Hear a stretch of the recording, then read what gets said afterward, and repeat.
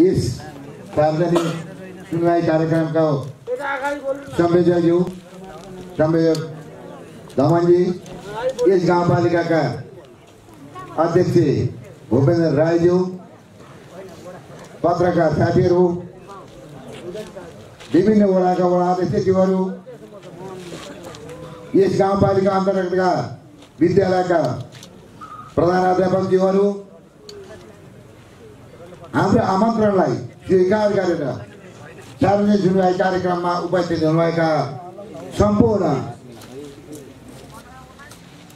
सरकारवाला नागरिक साथीहरू आज हामी यो गाउँपालिकाको वार्षिक रूपमा भन्ने भने दोस्रो सार्वजनिक सुनवाई कार्यक्रम र हामीले गरेको कार्यक्रम तेस्रो सार्वजनिक सुनवाई कार्यक्रममा उपस्थित भएका छौँ। हामीले यो गाउँपालिकालाई पारदर्शी रूपमा अगाडि बढाउनुपर्छ भन्ने क्रमलाई र वडामा भएका गाउँपालिकामा भएका सम्पूर्ण विकास निर्माणका कार्यक्रमहरूलाई चौमासिक रूपमा नेपाल सरकारले को निकासा हुने अनुसारको चौमासिक रूपमा कार्यक्रम सञ्चालन गर्दा के कति प्रगति भयो भन्ने विषयलाई लिएर पनि हामीले चौमासिक रूपमा कार्यक्रम पत्रकार सम्मेलन गरेर कार्यक्रम गर्ने हामीले सुरुवात गरिसकेका छौँ। यसै क्रमलाई लिएर हाम्रो यस गाउँपालिकाको दुई हजार पचहत्तर छयत्तरमा भएको प्रगतिको गरेका का कामहरूको प्रगतिको विवरण यहाँहरू समक्ष पेस गर्न चाहन्छु र साथमा यो सार्वजनिक सुनवाई गर्दासम्मको अवस्थामा हामीले आर्थिक वर्ष छयत्तर सतहत्तरमा सतहत्तरको पहिलो छ महिनामा गरेका कामको संक्षिप्त विवरण चाहिँ हामी पेस गर्ने गर्ने सम्पर्क गरेका छौँ। यस सम्बन्धलाई लिएर के जस्तो अवस्था छ त्यो कुरामालाई लिएर हजुरहरूलाई लागेका जिज्ञासाहरू पछि उठान हुने नै छन्। म यो प्रगति विवरण पढेर यहाँलाई सुनाउन चाहन्छु।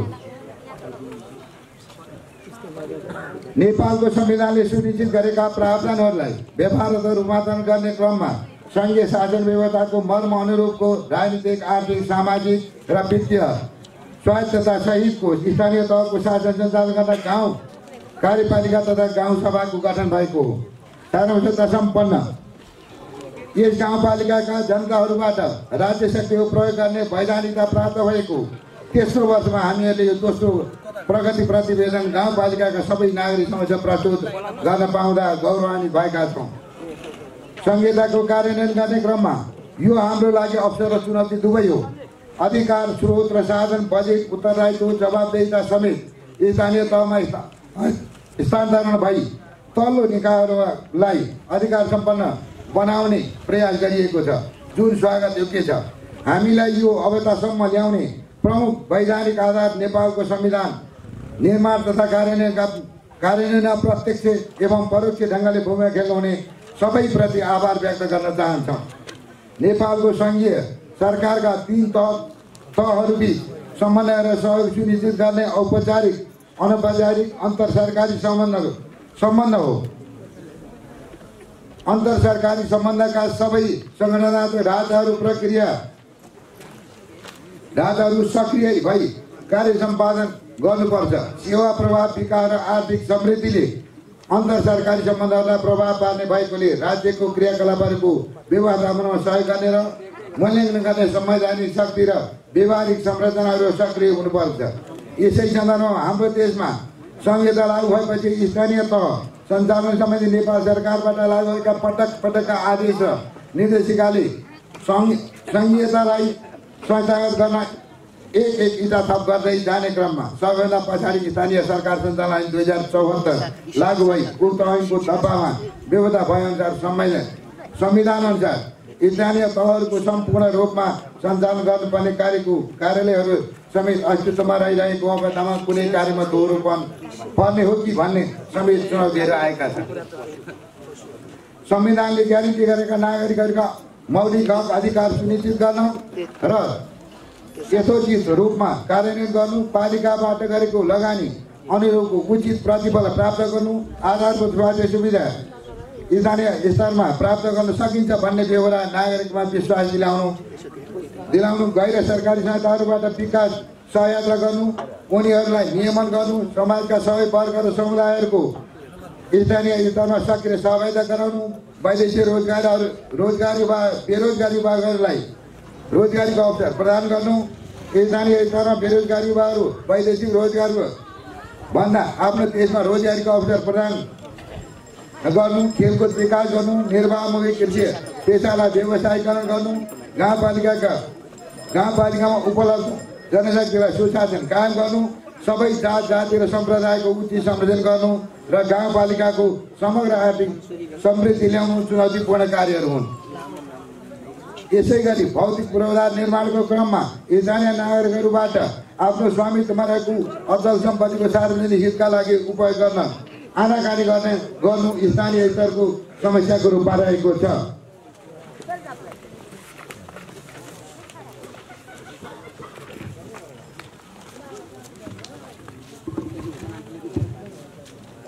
संहितापछि साधन स्रोतसहितको अधिकार स्थानीय तहमा हस्तान्तरण गरी विभिन्न पाँचवटा विषयगत क्षेत्रहरू शिक्षा स्वास्थ्य कृषि पशु विकास बालबालिका तथा महिला विकास क्षेत्रको सम्पूर्ण व्यव व्यवस्थापकीय जिम्मेवारी स्थानीय स्तरमा आएको भए तापनि ती क्षेत्रहरूलाई संविधान र स्थानीय सरकार सञ्चालन ऐन दुई हजार चौहत्तर बमोजिम स्थानीय तहमा हस्तान्तरण गर्नुपर्ने गर्नुपर्नेमा जिल्ला स्थित विषयगत कार्यालयहरू कुनै न कुनै बाहनामा वा पुरानै नाममा संरचना खडा गरी जिल्लामा नै यथावत राखी स्थानीय तहमा हस्तान्तरण भइसकेको अधिकार र कार्यालय संहिता मर्म र भावना विपरीत राखी राखी राख्नाले स्थानीय तहमा हस्तान्तरण हुनुपर्ने जनशक्तिलाई ओगटेर जनशक्तिको अभाव सिर्जना गराएको गराएकोले कामकाजमा बाधा परेको अवस्था छ।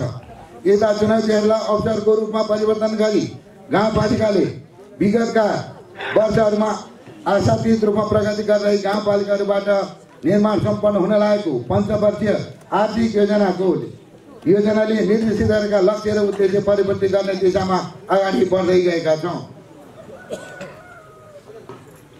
यो प्रगति प्रगति विवरणमा परिचय सहित हामीले राखेका छौँ। यो गाउँपालिकाको परिचय यहाँहरूको हातमा भएको प्रगति विवरणबाट हजुरहरूले जानकारी लिनुहुनेछ अब हामी गाउँपालिकाले गरेको प्रगति विवरणको सामा सञ्चय यहाँहरूलाई पेस गर्न चाहन्छु। गाउँपालिकाको प्रगति सुशासनको सम्बन्धमा गाउँपालिकामा भएका कामकाजहरू संहिताको आधार स्तम्भको रूपमा रहेको रूपमा स्वीकार गरिएको सुशासनलाई गाउँपालिकाले आत्मसात गरिएको छ। गाउँपालिकामा सुशासन कायम गर्नका लागि नेपाल सरकारले तोकेर पठाएको दरमन्दी सङ्ख्या यस्तो छ। हजुरहरू सबैको हात हातमा भएको प्रगति विवरणको विवरणमा यो दरबन्दी सङ्ख्या हेर्न सक्नुहुन्छ। जसमा जम्मा चौतिसजनाको दरबन्दी कायम गरिएको छ। यस्तो दरबन्दी अनुसारको जनशक्ति व्यवस्था गरी ती जनशक्तिलाई समय सापेक्ष उत्प्रेरित गरी स्थान अनुकूलको सेवा सुविधा प्रदान गर्न सके मात्र सही रूपमा जनताले सुशासनको अनुभूति गर्न सक्नेछन् तर गाउँपालिकाको गाउँपालिका विवरण विडम्बना नि भन्नुपर्दछ यहाँ हाल स्थायी रूपमा तपसी बाहुलीका जनशक्ति मात्र कार्यरत रहेका छन् प्रमुख प्रशासक एकजना स्वास्थ्य संयोजक एकजना कृषि संयोजक एकजना खरिदार सातजना वडा कार्यालयमा वडा सचिव समेत जम्मा पाँचजनाको सङ्घ अन्तर्गत समायोजन भइसकेको अवस्था छ। सहलेखापाल एकजना जसको अन्यत्र कार्यालयमा सरुवा पदस्थापना भइसकेको अवस्था छ। सहायक महिला विकास निर्देशक एकजना गरी जम्मा बाह्रजना कार्यरत रहेको अवस्था छ। यसको चौतिसजनाको आवश्यक दरबन्दी कायम भएको गाउँपालिकाबाट जम्मा बाह्रजनाले मात्र सेवा सेवा गर्दा कति उपचार सेवा प्रदान होला? शोचनीय विषय हुँदाहुँदै पनि सरकारले बनाएको नीति नियम अनुसार नै अति आवश्यक। केही पदहरूमा आवश्यक प्रक्रिया पुरा गरी सेवामा जनशक्ति व्यवस्था गरी सेवा सुविधा उपलब्ध गराइ गराउँदै आएको छ। सुशासनका लागि गाउँपालिकाले अहिलेसम्म गरेका कामको कामको विवरण यस प्रकार छ। आफ्नै कार्यालय भवनबाट सेवा प्रदान गर्दै आएको छ। गाउँपालिकाको कामकाजलाई व्यवस्थित बनाउनका लागि उन्नाइसवटा ऐन नियम निर्देशिका निर्माण गरी लागू गरिएको छ। सबै योजना र कार्यक्रमलाई डिजिटल युक्त माध्यमबाट चौबिसै घन्टा प्रसारण हुने गरी नागरिक बडापत्र बनाएको छ। पालिकाभित्रको कर्मचारी व्यवस्थालाई नियमित गराउनका लागि ई एटेन्डेन्सको व्यवस्था गरिएको छ। पालिकाले योजनाको उचित सर्वे समयमा सर्वे इस्टिमेट र मूल्याङ्कन गर्नका लागि पाँचजना विभिन्न पदका प्राविधिक कर्मचारीहरू करारमा व्यवस्था गरेको छ। सुशासन प्रमुख सूचकहरूमध्ये एक सूचकको रूपमा रहेको सार्वजनिक सूचना। सार्वजनिक कार्यक्रमलाई आत्मसात गर्दै दुई हजार सतहत्तर साल चैत्र पच्चिस गते गाउँपालिकाको प्राङ्गणमा नेपाल पत्रकार महासङ्घ कोटाङको संयोजकतामा सम्पन्न भएको छ। उक्त कार्यक्रममा केही गुनासा र केही सुझावहरू प्राप्त भएकोमा गुनासाहरूलाई सम्बोधन र सुझावहरू आत्मसात गर्दै गाउँपालिका अगाडि बढ्दै गएको छ। गाउँपालिकाले दुई हजार चौहत्तर पचहत्तरको अवधि भरमा अवधि भरमा गरेको कामको दुई हजार पचहत्तर छयत्तरमा गरिने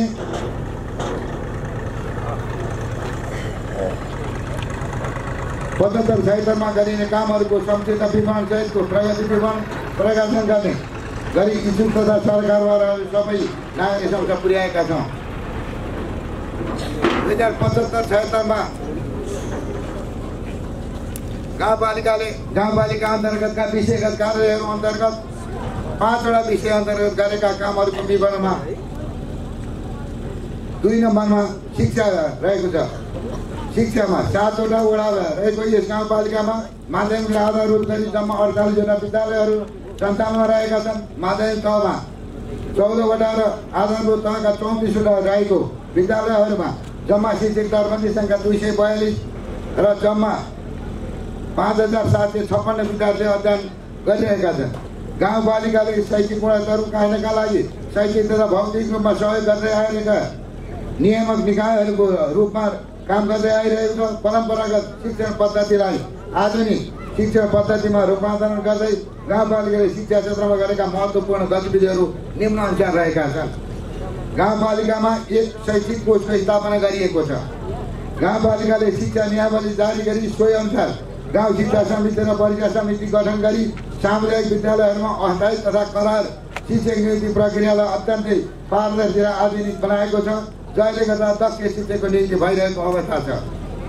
शैक्षिक गुणस्तरलाई आधुनिक र सूचना प्रविधि मैत्री बनाउन बनाउनु उद्देश्यका साथ गाउँपालिकामा का भित्रका सातवटा नमुना विद्यालयहरू छनौट गरी गाउँपालिकाकै नमुना तथा प्रविधि मैत्री विद्यालय निर्माण गर्न सातवटा विद्यालयलाई दस दस स्थान कम्प्युटर प्रदान गरेर ती विद्यालयहरू निम्न रहेका छन्।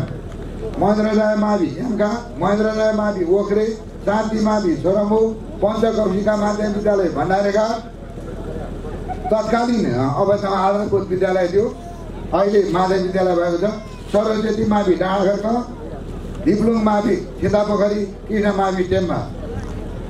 आर्थिक वर्ष दुई हजार चौहत्तर पचहत्तरदेखि सुरु गरेको असल शिक्षक र प्रतिस्पर्धी अध्यापनका सम्बन्धमा सकारात्मक सोचका विकास सोचको विकास गर्ने उद्देश्यले गाउँपालिकाले गाउँपालिकाभित्र रहेका अडचालिस विद्यालय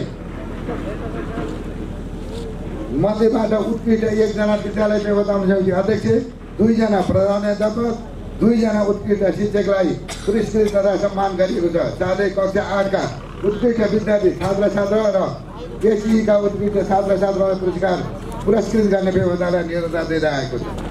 अन्तर माध्यमिक विद्यालय प्रतियोगितात्मक कार्यक्रमको सञ्चालन मार्फत विद्यार्थीलाई अध्ययनमा रुचि अभिवृद्धि गरिएको छ।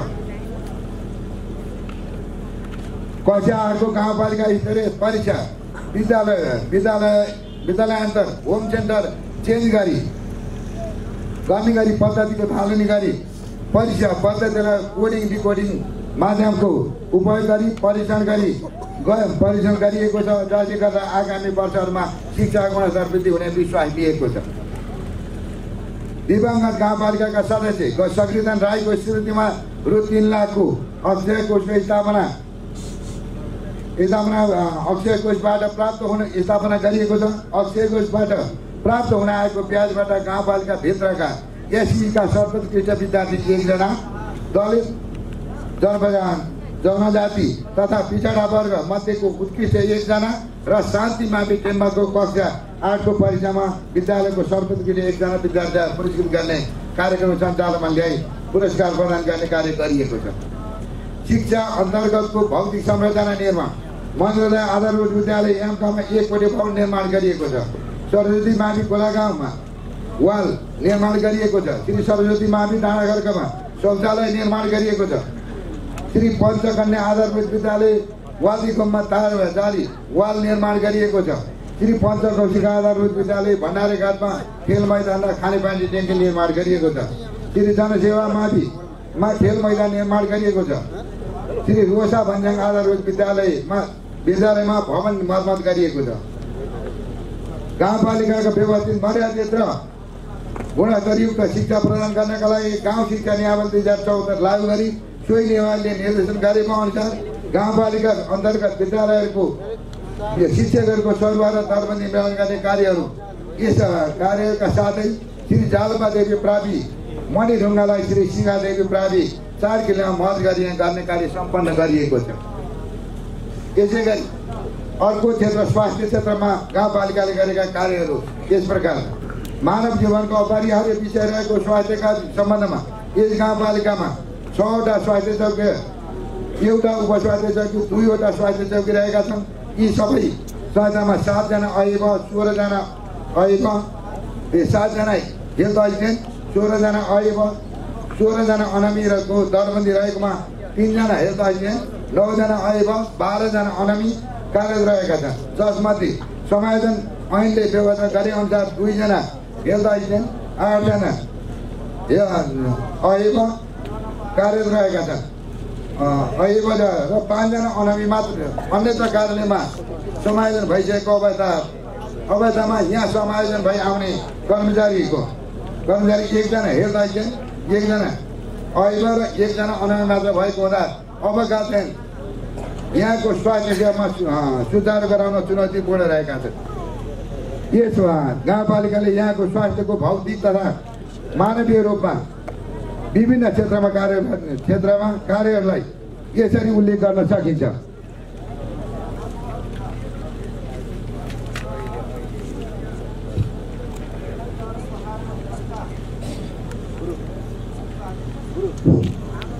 गाउँपालिकाको सातवटै वडाहरूमा प्रस्तुत एरिया सञ्चालन गरिएको छ। आवश्यक स्वास्थ्य कर्मीहरूको व्यवस्था गरिएको छ र साथै स्वास्थ्य सेवालाई प्रभावकारी रूपमा सञ्चालन गर्न अग्रणी भूमिका निर्वाह गर्न स्वास्थ्य स्वयंसेविकाहरूलाई प्रोत्साहन स्वरूप मासिक रु सात सात सय रुपियाँ भत्ता दिन सुरु गरिएको छ। हाम्रो गाउँपालिकामा स्वास्थ्य गाउँपालिका निर्माण गर्न शिशु पोषण प्रबन्धन कार्यक्रम लागू गरिएको छ। यो कार्यक्रममा एक दम्पतिबाट जन्मेका बढीमा दुईवटा शिशुलाई प्रदान गरिएको छ। यस कार्यक्रमबाट मासिक रु एक हजारका दरले सम्पूर्ण वडाका तिन सय एकहत्तर बालबालिकाहरूलाई पोषण भत्ता प्रदान गरिएको छ। यो कार्य सम्पन्न गर्नको लागि गाउँपालिकाबाट रु तेत्तिस लाख उनासी हजार सात सय खर्च भएको छ। यसै गरी पालिकाभित्र कार्य सबै महिला स्वयंसेविकाहरूलाई का लागि प्रति महिना पाँच दरले प्रदान गर्दा रु चार लाख चौहत्तर हजार खर्च भएको छ भने यसै वर्ष छयत्तर सतहत्तरदेखि उनीहरूले गरेको सेवाको कदर गर्दै प्रति महिना रु दुई सय बढाइ रु सात सय यस सात सय प्रदान गर्न बजेट विनियोजन गरिएको छ। बृहत स्वास्थ्य शिविर दुई हजार छयत्तरमा छयत्तरको पञ्चायत बजारमा सञ्चालन गरी जम्मा सात सय एकसठी जनालाई सेवा प्रदान गरिएको छ। नेपाल सरकारले उपलब्ध गराउँदै आएको निशुल्क औषधि चाबीको गाविसहरूमा एक सय बिस केजीका दरले जम्मा आठ सय चालिस केजी बाँड्दै आएकोमा हाल गाउँपालिकाले त्यसलाई वृद्धि गरी एक सय नब्बे केजीका दरले तेह्र सय तिस केजी पुर्याएको छ। सत्तरी वर्ष माथिका ज्येष्ठ नागरिकलाई स्वास्थ्य कर्मी घरमै पुगी निशुल्क स्वास्थ्य सेवा प्रदान गर्ने व्यवस्था मिलाइएको छ। करिब तिन घन्टा लगाएर एक ट्याब्लेट चाकी सिटामोल औषधि लिन लिनका लागि धाउनु पर्ने बाध्यताको अन्त्य गर्न भौगोलिक आधारलाई समेत वृद्धि गरे गरी। वडा नम्बर सातको श्री शान्ति मावे बटानामा र वडा नम्बर चारको बतासेको भण्डारी घाटमा स्वास्थ्य इकाइ स्थापना गरी सञ्चालनमा ल्याइएको छ। पूर्ण उपयुक्त वडा र गाउँपालिका घोषणा गरी समय समयमा अनुगमन गरिएको छ। स्वास्थ्य बिमा कार्यक्रम प्रवर्धनमा जोड गरिएको छ। विभिन्न किसिमका रोगीहरूलाई उपचार सेवामा पहुँच पुर्याउन तथा आर्थिक सहयोग गरिएको छ। प्रत्येक स्वास्थ्य संस्थालाई बत्तीको लागि इन्भर्टर र ब्याट्री व्यवस्था गरिएको छ। प्रत्येक स्वास्थ्य संस्थालाई ग्यास चुलो र सिलिन्डरको व्यवस्था गरिएको छ। प्रत्येक मावि स्कुलमा दक्ष नर्सहरूलाई नर्सहरूमा स्वास्थ्य कक्षा सञ्चालन गर्ने कार्यको सुरुवात गरिएको छ। स्वास्थ्य चौकीको इन्चार्जको इन्चार्जहरूले को प्रत्येक महिना बैठकपछि स्वास्थ्यमा आइपरेका समस्याहरूको पहिचान गरी सरसल्लाहबाट स्वास्थ्यको समस्याको समाधान गर्ने परिपाटीको विकास गरिएको छ। त्यसै गरी यो गाउँपालिकाबाट दिने गरेको कृषि तथा पशु सेवासम्म तर्फको कार्यक्रम यस प्रकार गरिएको छ। हाम्रो गाउँपालिकाको भूगोल कृषि तथा पशु सेवाको लागि अत्यन्त उर्वर भूमिमा रहेको हुँदा कृषकलाई परम्परागत खेती प्रणालीबाट आधुनिक खेती प्रणालीतर्फ उन्मुख गरिएको छ। उन्मुख लागि गाउँपालिकाले विभिन्न कार्यक्रमहरू सञ्चालन गरी अगाडि सारेको छ। कृषि उत्पादन र बजारीकरणलाई उच्च प्राथमिकताका साथ अगाडि बढाएको छ। कृषि पकेट क्षेत्र निर्माण गरी दिगो कृषि रणनीतिलाई अवलम्बन गर्ने कार्यक्रम ल्याइएको छ। व्यवसायिक कृषि प्रणालीबाट गाउँपालिकाको समृद्धिका लागि आधार स्तम्भ तयार गरिएको छ। कृषि क्षेत्रमा आधारभूत परिवर्तनका लागि कृषि निजी तथा सहकारी क्षेत्रलाई विशेष लगानी गर्ने वातावरण निर्माण गरिएको छ। कृषि तथा पशु विकास कोषको स्थापना गरिएको छ। गाउँपालिकाकोले लगानी गरेको कृषि तथा पशु विकास अन्तर्गतको कार्यक्रमको विस्तृत विवरण यस प्रकार रहेको छ। मुख्य मुख्य उपलब्धिहरू लाभान्वित वर्ग तथा तथ्याङ्कहरू। जम्मा लाभान्वित घर मूल्य घर दूरी कृषक सङ्ख्या पच्चिस सय महिला छ सय पच्चिस पुरुष अठार सय पचहत्तर दलित पाँच सय जनजाति बाह्र सय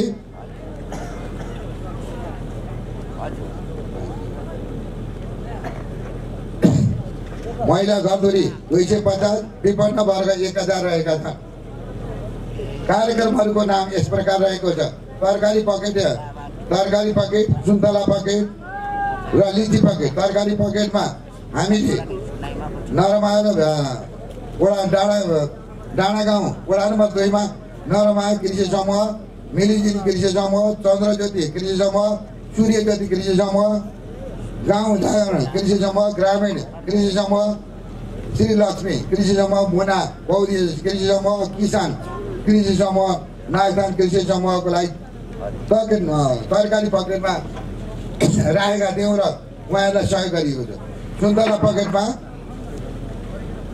रोबोलुङमा रोबो कृषि समूह बपात जुङ कृषि समूह हरियाली कृषि समूह सूर्य प्रकाश कृषि समूह सगरमाथा कृषि समूह हरियाली कृषि समूह लालीगुनाथ बाल विकास कृषि समूह हाम्रो हाम्रो राम्रो कृषि समूह सहकला कृषि समूह यिनीहरूलाई हामीले सुन्दर पकेटमा राखेका थियौँ लिची पकेट जनचेतना कृषि समूह नव प्रतिभा कृषि समूह दलित उत्थान कृषि समूह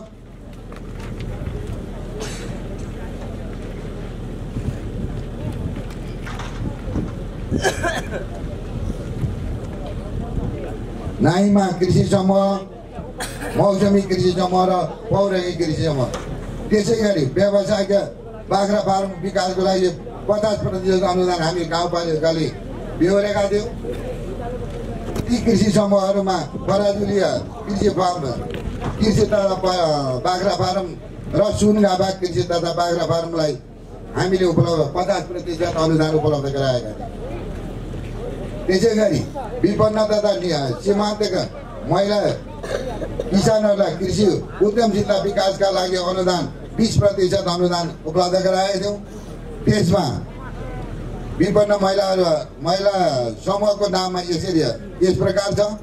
रामकुमारी राई शर्मिला तामाङ रामकुमारी सार्के गीता विक लालमाया राई तारा विश्वकर्मा रितामाया विश्वकर्मा कमला श्रेष्ठ फुलमाया जोगी कुमारी विश्वकर्मा मेनुका राई कमला तामाङ कालीमाया थापा कल्पना भुजिल कुमारी कार्की सरस्वती कामी पार्वती विश्वकर्मा शुभकला राई मिना विक कल कलमाया गुरुङ रश्मिता राई। त्यसै गरी वैदेशिक रोजगारीबाट फर्केका युवालाई कृषि उद्यमशीलता विकास सम्बन्धी कार्यक्रम पनि हामीले सञ्चालन गरेका थियौँ जसमा परशुराम रा राउत विवेक विवेन्द्र राई विजेन्द्र खड्का दिनेश तामाङ शङ्कर तामाङ भुवन पण्डित प्रतिमान थापा सञ्जय राई केशव पिठ प्रेम कुमार अधिकारी।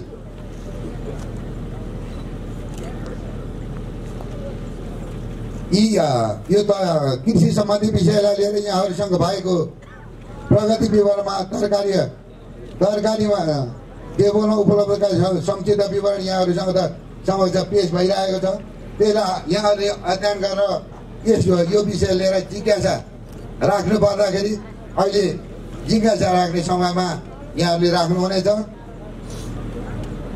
त्यसै गरी हामीले पशु सेवातर्फ गाउँपालिकाबाट गराएको उपचार उपचारको क्रमलाई लिएर जम्मा एक सय साठीवटा गाईको उपचार एक सय सत्तरीवटा गोरु यो दुई सय पचपन्नवटा भैँसी एक सय पचपन्नवटा बा बाछा पाडा र छ सय पचासवटा खसी बाख्राको उपचार गरेका थियौँ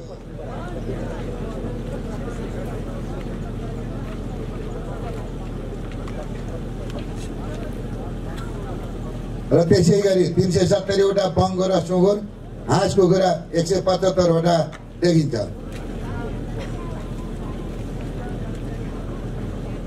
त्यसै गरी यो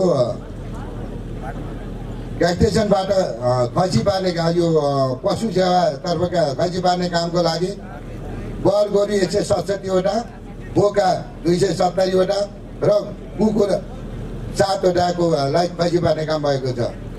यति रेबिया भ्याक्सिन दिएको छ कुकुरलाई जम्मा पचहत्तरवटा एक वर्ष रेबिया भ्याक्सिन प्रदान गरेका छौँ औषधि खरिद भइसकेको विवरण सुरु गर सुरु गर्ने भइसकेको हुँदा विभिन्न रोगको लक्षणको आधारमा औषधि वितरण गरिएको छ विभिन्न पशु फार्म खोला खोल्न भनी निवेदनका आधारमा जिल्ला स्थित घरेलु तथा साना उद्योग समितिहरूलाई फर्म दर्ता गरी छजना कृषकहरूलाई सिफारिस गरी लेखी पठाइएको छ यसै गरी हाम्रो सबभन्दा चासोको विषय यो गाउँपालिकाको सबभन्दा ठुलो चासोको विषय भौतिक पूर्वाधार विकासतर्फ त्यसमाथि पनि सबभन्दा बढी चासोको विषय सडक विस्तारतर्फका हामीका यो गाउँपालिका आर्थिक वर्ष छयत्तर सतहत्तर चौध पचहत्तर छयत्तरमा गरेको सडक विस्तार सम्बन्धी भएका कामहरू गाउँपालिकाहरूमा गाउँपालिकामा पालिकाले गठन हुनुभन्दा अगाडि कति धुले सिजनेबल सडक सञ्चालनको अवस्थामा रहेकोमा तावादेखि टुवा खोलासम्मको सडक र कति धुले सडकलाई गाउँपालिकाले वर्षै पछि मर्मत गर्ने स्तरोन्नति गर्दा वार्षिक रूपमा धेरै बजेट यो सडकमा खर्च हुने गरेको छ र पालिकाबाट निर्माण गरिएका सडक पनि यसै गरी मर्मत स्तरोन्नति गर्दा गर्दा धेरै खर्च हुने गरेको हुँदा हुँदा हुँदै पनि यस वर्ष यस वर्ष हामीले साठी किलोमिटर छ सय चौरानब्बे मिटर सडकको ट्र्याक नयाँ ट्र्याक पनि बनेका छौँ यसै गरी सडक निर्माण तथा स्तरोन्नतिको क्रममा यस वर्ष ढुङ्गा सोलिङ गर्ने काम एक हजार एक सय सत्तालिस मिटर एमबिपी पाइप सात हजार सतहत्तर हजार एक सय अन्ठाउन्न मिटर जडान गरी दुई सय एमएम एआइडिपी पाइप आठ सय पन्ध्र मिटर जडान गरी जडान अनि जिआई पाइप नौ सय चौध पोइन्ट सात मिटर जडान गरिएको ब्याक कटिङ स्तरोन्नति गरी चालिस चालिस किलोमिटर सात सय बाह्र मिटर साइड क्लियरेन्स सात हजार छ सय पैँतालिस मिटर ड्राइवाल छ सय चौध मिटर पोइन्ट दस मिटर सेनी मेसिनरी वाल दुई सय त्रिहत्तर मिटर ग्याबिन वाल दुई सय चौध मिटर निर्माण सम्पन्न गरिएको छ प्रदेश सरकारबाट प्राप्त सशक्त अनुदान रु एक करोड पैँतिस लाख मध्य पैँतिस लाखबाट यस गाउँपालिका गाउँपालिकाको देखि जिल्ला सदरमुखसम्म पुग्ने सडकको बिचमा पर्ने साप्चु खोलाको मोटर फेदी बाटो फेदी पुल बाटो फेदी भन्ने स्थानमा कति मोटर पुल निर्माण गर्नका लागि लागत रु छ करोड बयानब्बे लाख बयानब्बे हजार नौ सय छप्पन्न रुपियाँ पच्चिस पैसा। कन्टिजेन्सी बाहेकको टेन्डर खोलिएकोमा उक्त पुलको कार्य धमाधम भइरहेको छ। उक्त कार्य सम्पन्न गर्नका लागि सूर्य एन्ड सन्स कम्पनी प्रालीले जम्मा रु पाँच करोड साठी लाख दस हजार पाँच सय पैँतालिस रुपियाँ पच्चिस पैसामा निर्माण सम्पन्न गर्ने गरी त्यो केकको निर्माण कार्य कार्य सम्पन्न गर्न गर्ने अवधि चौबिस दिना अगाडि सम्पन्न गर्ने गरी कार्य हुँदै गरेको अवस्था छ। यसै गरी यस गाउँपालिकाका नदीहरूको नदीहरूलाई सर्वजनाको आवाज जावतलाई सहज बनाउन दुईवटा झोलुङ्गे पुल खमारे दोभान खमारे दोभान तिखुवा दोभान निर्माणाधीन अवस्थामा रहेका छन्। गाउँपालिकाको सेवा सुविधालाई ध्यानमा राखी केन्द्रीय नीति अनुसार स्थानीय ब्याङ्क स्थापना भएको छ र जो अहिले गाउँपालिकाभित्रका आसपासका नागरिकलाई सेवा सुविधा उपलब्ध गराएको छ। उक्त बैङ्कले यथाशाती लक्ष्य प्राप्त भएको छ। विद्युत विकास। नागरिकहरूका आवश्यकताका विषय तथा विकासको अत्यावश्यक तत्त्वको रूपमा स्थापित भएको विद्युत सेवा गाउँपालिकामा परिपूर्ति गर्नु अति आवश्यक भएकोले यता यथार्थलाई स्वीकार गर्दै गाउँपालिकाले पालिकाभित्रका जुन जुन जुन जुन वडाहरूमा विद्युत सेवा पुगेको छैन ती वडा र वडामा ग्रामीण बस्तीहरूलाई विद्युत विस्तारका लागि बजेट विनियोजन गरी यसै वर्षदेखि सबै वडामा विद्युत सेवा उपलब्ध गराउने लक्ष्य लिएको छ। यसको लागि वडा नम्बर सातमा अठार लाख वडा नम्बर छमा बत्तिस लाख विनियोजन गरिएको थियो। यसै यसै विद्युत विस्तारकै लागि वडा नम्बर चारमा रु पाँच लाख विनियोजन भएकोमा उक्त रकम विद्युत विस्तारमा खर्च हुन अगावै केन्द्रीय विद्युत प्रसारण विद्युत विस्तार प्रसारण सेवाबाटै तोकियो तोकिएको कार्य सम्पन्न गरेको हुँदा उक्त रकम खर्च हुन सकेको छैन। राजस्व परिचालनतर्फ कर के का लागि? किन? कहिले? कसलाई कति भन्ने प्रश्नहरू सहित करको उपयोग कसरी गरिन्छ र आफूले तिरेको करबाट आफूलाई कति फाइदा हुन पुगेको छ भन्ने विषयमा आम नागरिकलाई जानकारी गराउन सबै थरका सरकारको दायित्व हुँदा यसै हुँदाहुँदै सरकारबाट जबरजस्ती रूपमा उठाएको करको भारबाट नागरिकहरूमा सङ्घीयताप्रति नै वित्तीय सिर्जना हुने सम्भावनालाई ध्यानमा राखी स्थानीय स्तरमा नगण्य रूपमा मात्र कर दस्तुर उठाउने गरिएको छ। जसबाट हाम्रो गाउँपालिकामा आर्थिक वर्ष पचहत्तर छत्तरमा जम्मा पाँच लाख उनासी उनासत्तरी हजार तिन सय दसमा मात्र स्थानीय राजस्व प्राप्त भएको छ। गाउँपालिकाको विकास निर्माण र जनसुविधा उपलब्ध गराउन मुख्य स्रोत सङ्घीय सरकार र प्रदेश सरकारबाट प्राप्त हुने निशर्त र सशक्त अनुदान नै हुन्।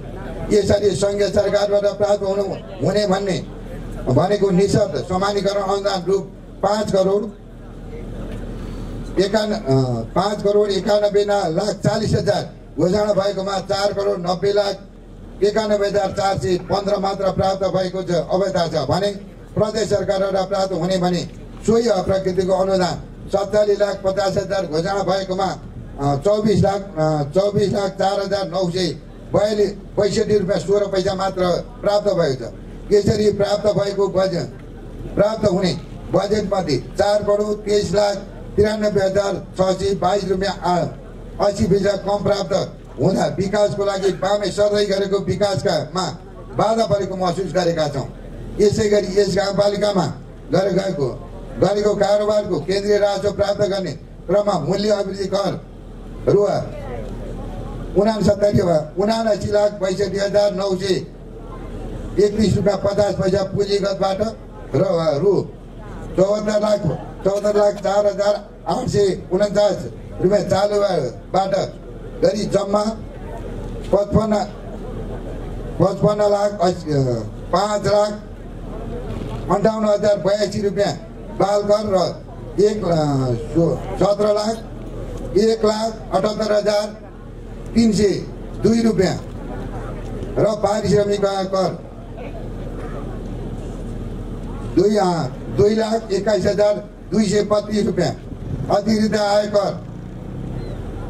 आठ लाख छयालिस हजार नौ सय अन्ठानब्बे र आकस्मिक लाभ कर।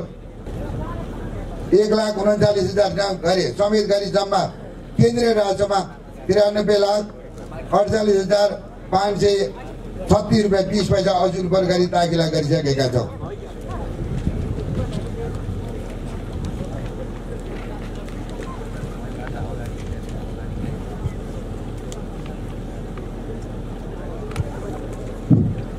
अन्त्यमा विभिन्न अभाव र स्रोतको सीमितताका बावजुद धेरै उदाहरण कार्य गरेका छौँ। जुन दिप्रुङ चुइटुमा गाउँपालिकाले स्थानीय सरकार विद्यार्थी गतिविधिहरू नजिकबाट निहाली प्रभावकारी सेवा निर्णय विस्तारका लागि सदैव सचेत गराइराख्न सरकारवाला नागरिक समाज सञ्चार जगत र सर्वसाधारण अनुरोध सहित भए गाउँपालिकाले गरेको असल कार्यहरूको प्रचार प्रसार गरी रचनात्मक र सकारात्मक भूमिका निर्वाह गरिदिनु हुन आग्रह गरिन्छ। यसभन्दा पछाडि यो प्रगति विवरण यहाँहरूसँग जुन पेस गरेका छौँ यो प्रगति विवरणको पछाडि अध्यपन्त हामीले गरेका पचहत्तर पचहत्तर गरेका कामको विवरण यहाँहरूसँग यहाँहरूले हेर्न र पढ्न सक्नुहुनेछ। अब म अब म यहाँहरू समक्ष हामीले अघि पनि घोषणा गरेका थियौँ। आर्थिक वर्ष छत्तर सतहत्तरको पौष अदालतसम्म गरेका कामको सामान्य प्रगति विवरण यहाँहरू समक्ष पेश गर्न चाहन्छु। नेपालको संविधानले नेपाली नागरिकहरूलाई अधिकार सम्पन्न बनाएको छ। संविधानले गणतन्त्रको उपहार नागरिकहरूको प्रत्यक्ष प्राप्त गरेको गर्ने गरी तिन तहको सरकार निर्माण गरेको छ। सङ्घ प्रदेश र स्थानीय सरकारको अधिकार संविधानमा उल्लेख भएको छ। संविधानमा उल्लेख भएका अधिकारहरूलाई नागरिक तहसम्म पुर्याउने पुर्याउन अब कसैले रोक्न सक्दैन। त्यसमध्ये पनि गणतन्त्रको आधार स्तम्भको रूपमा रहेको नागरिकहरूको प्रत्यक्ष निगरानी र नागरिकहरूको सुरक्षामा सञ्चालन भइरहेको स्थानीय सरकारको सरकारले नागरिकहरूलाई छिटो छरितो तरिकाले सेवा सुविधा दिनुपर्छ भन्ने महसुस गरेको छ गरेका छौँ। गाउँपालिकाको सर्वपक्षीय विकासका लागि हामीले गाउँपालिकालाई अनेक बाधा व्यवधानको सामना गर्दै तीव्र गतिमा शिक्षा स्वास्थ्य शिक्षा यातायात पर्यटन लगायत अन्य क्षेत्रहरूमा अगाडि बढाएको बढाउने प्रयत्न गरिरहेका छौँ। हामी चाहन्छौँ हाम्रो कामले गाउँपालिकाका आम नागरिकहरूले लाजे सिट झुक्नु नपरोस्। राजनीतिप्रति पिछ्ना जाग्नु हुँदैन। त्यसैले हामी हिलासुती भ्रष्टाचार र कमिसन रहित सरकार सञ्चालन गरिरहेका छौँ गरिरहनेछौँ। लोकतन्त्रमा नागरिकका प्रतिनिधिले सरकार सञ्चालन गर्ने हो। तर सरकारले गरेको काम कारवाही गतिविधि नागरिकले थाहा पाउनुपर्छ। म आफै सरकार सञ्चालन गरि गर्नमा सञ्चालनमा सरिक छु भन्ने महसुस गराउन सक्नुपर्छ। त्यो नै लोकतान्त्रिक पद्धतिको उद्देश्य हो। हामी त्यसैतिर उन्मुख छौँ उन्मुख छौँ। गत वर्ष हामीले दुई हजार चौध पचहत्तरको सार्वजनिक सुनाइ नेपाल पत्रकार महासङ्घ खोटाङ शाखाको संयोजकत्वमा नीति दुई हजार पचहत्तर बाह्र पच्चिसमा गरेका थियौँ। त्यसपछि हामीले आर्थिक वर्ष छत्तर सतहत्तरको प्रथम चौमासिकसम्मको सम्म भए गरेका काम कारवाहीको सम्बन्धमा दुई हजार छत्तर साल मङ्सिर एक गते नै सार्वजनिक कार्यक्रम गरेका थियौँ। हामीले दुई हजार पचहत्तर छयत्तरमा गरेका कामकाजका सम्बन्धमा गर्न लागेको यो सार्वजनिक चुनिएका कार्यक्रममा आदि वर्ष छत्तर सतहत्तरको पौष मजासम्म गरेका गरेका कामको प्रगति विवरणको लागि सार्वजनिक सार्वजनिक गर्न उपयुक्त ठाने गाउँपालिकाले गरेका तथा गाउँपालिकामा रहेका विषयका शाखा मार्फत भइगरेका कामको विवरण विवरणको संक्षिप्त रूपमा पेश गर्ने गरेका छौँ गाउँपालिका गाउँपालिका भित्रैबाट भएका कामहरू एक योजना सञ्चालनको पहिलो शर्तको रूपमा रहेको योजनाको डिपिआर तयार गर्ने क्रममा तपसी नभएका योजनाहरूको डिपिआर तयार गरेका छौँ। गाउँपालिका कार्यालय भवन निर्माणको लागि धिप्लुङ झरना रेग्मिटार पञ्चमी सडक रमाइलो पञ्चमी चितापगरी कालचिन खोला सडक बुइखुवा खुतुम्बु लिलीमा राजमाटा सडक तावा धिप्लुङ यामका डाँडा गाउँ सिँचाइ योजना। रामचे भ्युट यतिको हामीले डिपिआर तयार गरिसकेका छौँ। दुई गाउँपालिका भित्रका दलित वर्गको जीवन स्तर उकाल्नका लागि प्रत्येक वडामा एक एक वडा दलित सहकारी संस्था खोल्नका लागि सम्बन्धित वडाका प्रतिनिधिमूलक दलितहरूलाई सहकारीमा सहकारी सम्बन्धी अभिमुखीकरणले सञ्चालन गरी सम्पन्न गरि समेत गरिसकेका छौँ सोही क्रममा नमुना दलित सहकारी विधान समेत नमुनाको रूपमा दलित सहकारी विधान समेत निर्माण गरी प्रत्येक वडाका दलितहरूलाई उपलब्ध गराएका छौँ। यसै गरी सहकारी दर्ता गर्ने गरी अनुदानको रकम लैजाने क्रम जारी रहेको छ। प्रहरी चौकी भवन निर्माण संहिता लागू भएपछि स्थापना भएका सबै गाउँपालिका केन्द्रका केन्द्रमा गाउँपालिकामा प्रहरी चौकी स्थापना गर्ने सङ्घीय सरकारको नीति अनुसार यस गाउँपालिकाको केन्द्रमा पनि प्रहरी चौकी स्थापना गर्ने क्रममा जिल्ला प्रहरी कार्यालय खोटाङसँगको समन्वयमा तत्काल तत्कालको लागि प्रहरी चौकीको अस्थायी व्यवस्था गर्नका लागि गाउँपालिकासँग अनुरोध भइआएको आएअनुसार हाललाई प्रहरी चौकीको लागि भवन निर्माण कार्य गरिएको छ र पछि प्रहरी चौकीको लागि गाउँपालिकाबाट उपलब्ध गराएको भूमि प्रहरी चौकी भवन निर्माण भएपछि उक्त भवन गाउँपालिकाले नै प्रयोग गर्ने गरी निर्माण गरिएको छ।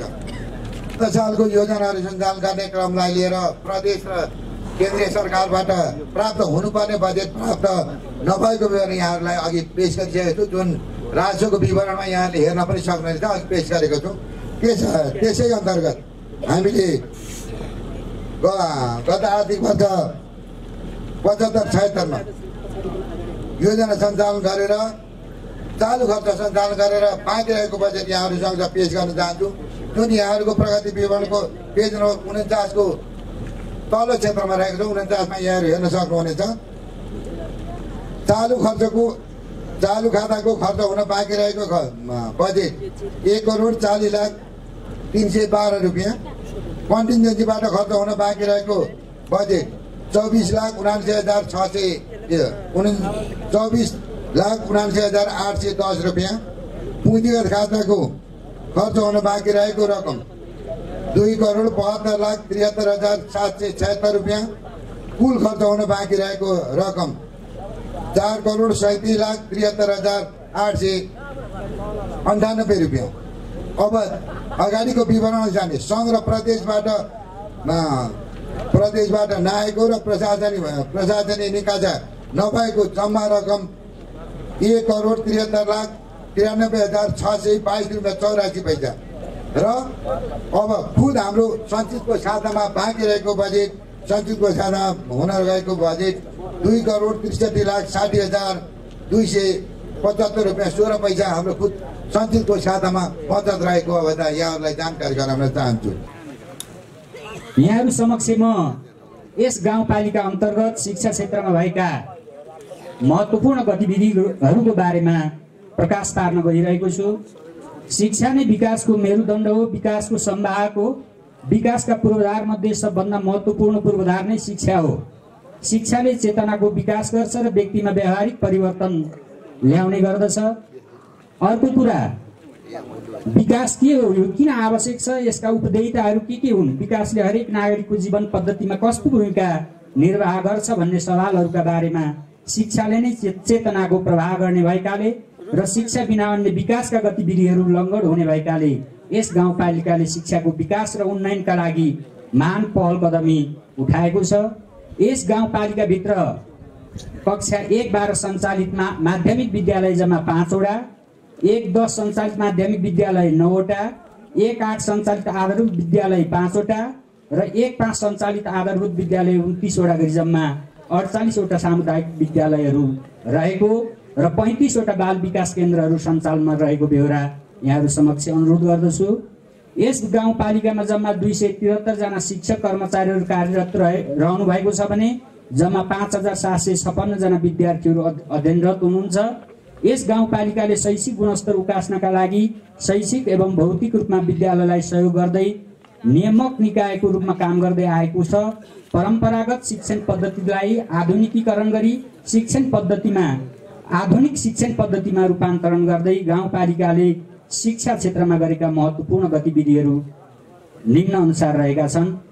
गाउँपालिका गाउँपालिकाले गाउँ शिक्षा नियावली दुई हजार चौहत्तर जारी गरी सोही अनुसार गाउँ शिक्षा समिति र परीक्षा समिति गठन गरी सामुदायिक विद्यालयहरूमा अस्थायी तथा करार शिक्षक नियुक्ति प्रक्रियालाई अत्यन्तै पारदर्शी आधुनिक र वैज्ञानिक बनाएको छ जसले गर्दा दक्ष शिक्षकहरूको नियुक्ति भई शैक्षिक गुणस्तरमा टेवा पुग्ने अवस्था रहेको छ देखिन्छ। शैक्षिक गुणस्तरलाई आधुनिक र सूचना प्रविधि मैत्री बनाउने उद्देश्यका साथ गाउँपालिका भित्रका जम्मा सातवटा नमुना विद्यालय छनौट गरी गाउँपालिकालाई नमुना तथा प्रविधि मैत्री विद्यालय निर्माण गर्न सातवटा विद्यालयलाई ददस्थान कम्प्युटर प्रदान गरेको छ र उक्त विद्यालयहरूमा एक एकजना कम्प्युटर शिक्षकको व्यवस्था गरी निजहरूको तहका लागि नौ लाख दस हजार रुपियाँ समेत विनियोजन गरेको छ। ती विद्यालयहरू निम्न अनुसार रहेका छन्। श्री महेन्द्रदय मावि यामखा श्री महेन्द्रदय मावि ओख्रे डाँडा गाउँ श्री शान्ति मावि सोरम्बु श्री पञ्चकौशिका मावि भण्डारेघाट श्री सरस्वती मावि डाँडाखर्क श्री धिप्लुङ मावि सीतापोखरी र श्री कृष्ण मावि टेम्मा आर्थिक वर्ष दुई हजार चौहत्तर पचहत्तरदेखि सुरु भएको असल शिक्षक र प्रतिस्पर्धी अध्यापनका सम्बन्धमा सकारात्मक सोचको विकास गर्ने हेतुले गाउँपालिकाले गाउँपालिकाभित्र रहेका अडचालिसवटा विद्यालयहरू मध्येबाट उत्कृष्ट विद्यालय व्यवस्थापन समिति अध्यक्ष एकजना उत्कृष्ट प्रधानध्यापक दुईजना उत्कृष्ट शिक्षक दुईजनालाई पुरस्कार तथा सम्मान प्रदान गर्दै आएको छ। साथै कक्षा आठका उत्कृष्ट सिकाइ उपलब्धि हासिल गर्ने विद्यार्थी छात्रा छात्र दुईजना र एसिईको परीक्षामा उत्कृष्ट हुने छात्रा छात्र दुईजना विद्यार्थीलाई समेत पुरस्कार तथा सम्मान गर्ने व्यवस्था व्यवस्थालाई निरन्तरता दिँदै आएको छ। साथै यस गाउँपालिकाको भाषा र साहित्यलाई विकसित गर्न र गाउँपालिकाको साहित्यिक गरिमालाई साहित्यिक गरिमालाई उजागर गर्न साहित्यिक क्षेत्रमा अतुलनीय योगदान पुर्याउने यस गाउँपालिका अन्तर्गतका साहित्यिक व्यक्तित्वलाई पुरस्कार तथा सम्मान गर्ने कार्य समेत अगाडि बढाएको बेहोरा अनुरोध गर्दछु अन्तर विद्यालय विद्यार्थी प्रतियोगितात्मक कार्यक्रमहरू सञ्चालन गर्दै विद्यार्थीहरूमा प्रतिस्पर्धात्मक भावनाको विकास गरी अध्ययन अध्यापनमा रुचि अभिवृद्धि गर्ने काम गरिएको छ कक्षा आठको गाउँपालिका स्तरीय परीक्षालाई विद्यालयान्तर होम। होम सेन्टर चेन्ज गरी परीक्षा सञ्चालन गर्ने र परीक्षा पद्धतिलाई कोडिङ डिकोडिङको माध्यमबाट उपयोग गरी आधुनिक र वैज्ञानिक बनाइएको छ जसले गर्दा आगामी वर्षहरूमा शिक्षाको गुणस्तर वृद्धि हुने विश्वास लिएको छ। अब म शिक्षा क्षेत्र अन्तर्गतका भौतिक संरचना निर्माणका कार्यहरू तपसिल अनुसार रहेको बेहोरा अनुरोध गर्छु। श्री महेन्द्रदय आधारभूत विद्यालय एमखा एक कोठे भवन निर्माण गरिएको श्री सरस्वती मावि कुला गाउँमा वाल निर्माण गरिएको शान्ति मावि छोरमुमा खेल मैदान निर्माण गरिएको पञ्चकन्या आधारभूत विद्यालय वातीखुममा तारजाली वाल निर्माण गरिएको पञ्चकौशिका मावि भण्डारी घाटमा खेल मैदान र खानेपानी ट्याङ्की निर्माण गरिएको रोसा भन्ज्याङ आधारभूत विद्यालयमा भवन मर्मत गर्ने कार्य गरिएको छ। शिक्षा क्षेत्र क्षेत्रमा भएका शैक्षिक गुणस्तर सुधारका योजनाहरू निम्न अनुसार रहेको बेहोरा यहाँहरूलाई अनुरोध गर्दछु। श्री शान्ति मावि टेममा पुस्तकालय व्यवस्थापन छ लाख पचास हजार श्री शान्ति मावि छोरम्बु पुस्तकालय व्यवस्थापन छ लाख पचास हजार श्री धिप्लुङ मावि सीतापोखरी पुस्तकालय व्यवस्थापन छ लाख पचास हजार श्री महेन्द्रदय मावि एमका विज्ञान प्रयोगशाला छ लाख पचास हजार श्री महेन्द्रदय मावि ओखरे विज्ञान प्रयोगशाला छ लाख पचास हजार श्री जन चेतना प्रावि सीतापोखरी दुई कोठे भवन सोह्र लाख श्री पञ्चकन्या प्रावि सर सीतापोखरी दुई कोठे भवन सोह्र लाख श्री सरस्वती मावि डाँडाखर्क डाँडाखर्क शौचालय निर्माण रु सात लाख श्री पवित्र प्रावि मझौ शौचालय निर्माण रु सात लाख। यस गाउँपालिकामा व्यवस्थित मर्यादित र गुणस्तर युक्त शिक्षा प्रदान गर्नका लागि गाउँ शिक्षा नियावली दुई हजार चौहत्तर लागू गरी सोही नियावलीले निर्देश गरे अनुसार गाउँपालिकाभित्र भित्र शिक्षकहरूको सर्व तथा दरबन्दी मिलान गर्ने कार्यका साथै श्री जाल्पादेवी प्रावि मलिम ढुङ्गालाई श्री सिंहदेवी प्रावि चार किल्लामा मर्ज गर्ने कार्य सम्पन्न भएको छ र दरबन्दी अभाव भएका विद्यालयहरूमा गाउँपालिकाले अनुदान कोटा सिर्जना गरी शैक्षिक गुणस्तर अभिवृद्धि गर्ने महान कार्य सम्पन्न गरेको छ जुन अनुदान कोटाको व्यवस्था तपसिल बमोजिम रहेको छ। श्री पञ्चकौशिका मावि भण्डारे घाट मावि शिक्षक अनुदान कोटा जम्मा पाँचवटा वितरण गरिएको छ जसमध्ये श्री पञ्चकौशिका मावि भण्डारे घाट श्री शान्ति मावि छोरम्बु श्री जनसेवा मावि सीतापोखरी श्री सरस्वती मावि कुलागाउँ श्री सरस्वती मावि डाँडाखर्क गरेर मावि शिक्षक अनुदान कोटा पाँचवटा त्यस्तै गरेर निमावि शिक्षक अनुदान कोटा सातवटा श्री शान्ति निकेतन मिनाकर्ण मावि सापातेल श्री रामचे निकेतन मावि इजरा श्री शान्ति मावि टेम्मा श्री याङसोला मावि छोरम्बु श्री महेन्द्रदय आधारभूत विद्यालय यामखा श्री पञ्चकोशिका मावि भण्डारे घाट श्री महेन्द्रदय मावि यामखा। अर्को प्रावि शिक्षक अनुदान कोटा तिनवटा श्री महेन्द्र तारा आधारभूत विद्यालय मुलाबारी श्री जनविकास आधारभूत विद्यालय नारङ्गा श्री जनजागृति प्रावि टेममा बाल विकास केन्द्र अनुदान कोटा आठवटा श्री सरस्वती मावि कुलागाउँ श्री रामचे निकेतन मावि इजरा श्री पञ्चकन्या प्रावि वातिघुम श्री कालिका प्रावि टेममा श्री साप्सु निकेतन प्रावि खुतुङ्गु श्री जनजागृति प्रावि पाखाटारी श्री शीतला प्रावि लोहकिल श्री चित्र निकेतन प्रावि टेममा यसै गरी विभिन्न तहका शिक्षक अनुदान कोटामा गाउँपालिकाले गाउँपालिकाको कार्यालयले एकमुष्ट रु छत्तिस लाख अडतिस हजार चार सय रकम विनियोजन गरेको छ शिक्षा नै विकासको आधार हो भन्ने तथ्यलाई स्वीकार गर्दै तत्कालको लागि यस गाउँपालिका अन्तर्गत चौधवटा विद्यालयका शिक्षक कर्मचारीहरूको उपस्थितिलाई नियमित बनाउन यी हाजिरी र दसवटा माविहरूलाई सोलर ब्याट्री र इन्भर्टर इन्भर्टरको व्यवस्था गरेको छ। यस गाउँपालिका अन्तर्गतका विद्यालयहरूमा कार्यरत शिक्षक तथा कर्मचारीहरूको तलब भत्ता मासिक रूपमा निकासा गर्ने व्यवस्थालाई कार्यान्वयनमा ल्याएको छ। डिप्रुङ सुइचुमा गाउँपालिका अन्तर्गतका माध्यमिक विद्यालय र कक्षा एक आठ सञ्चालित आधारभूत विद्यालयहरूमा स्कुल नर्स कार्यक्रम सञ्चालन गरिएको छ। उक्त कार्यक्रम सम्बन्धित वडामा रहेको स्वास्थ्य संस्थाबाट सहजीकरण गरिएको बेहोरा अनुरोध गर्दछु। नम्बर एक दिप्रुङ चुचोमाको विभिन्न वडाहरूको मावि र आधारभूत निमावि स्कुलहरूमा स्कुल नर्स कार्यक्रम लागू भइसकेको र जुन कार्य सम्बन्धित वडामा रहेको स्वास्थ्य संस्थाबाट सहजीकरण भइराखेको। नम्बर दुई गाउँपालिकाको सातवटै वडामा बर्थिङ सेन्टर सञ्चालन भएको र सम्पूर्ण बर्थिङ सेन्टरहरूमा दक्ष स्वास्थ्य कर्मीहरूको करार सेवामा व्यवस्था भएको। नम्बर तिन गाउँपालिकाको स्वास्थ्य मन्त्रालयको सशक्त बजेट रु आठ लाख अचरेपी आठ लाख रुपियाँको औषधि खरिद गरी सातवटा स्वास्थ्य चौकी र दुईवटा सामुदायिक स्वास्थ्य केन्द्रमा व्यवस्थापन गरी पर्याप्त मात्रामा औषधि आपूर्ति गरेको छ। नम्बर चार आमा सुरक्षा कार्यक्रमको बजेटबाट प्रत्येक बर्थिङ सेन्टरमा डेलिभरी भएको आमालाई न्यानो झोला र यातायात खर्च वितरण गरेको छ। नम्बर पाँच औषधि उपचार सहुलियत कार्यक्रममा जस्तै हामीले ठुलो ठुलो दसवटा रोगको लागि हामीले जुन सिफारिस गर्छौँ नि यहाँ बिरामीलाई त्यो उपचारको लागि त्यसको लागि।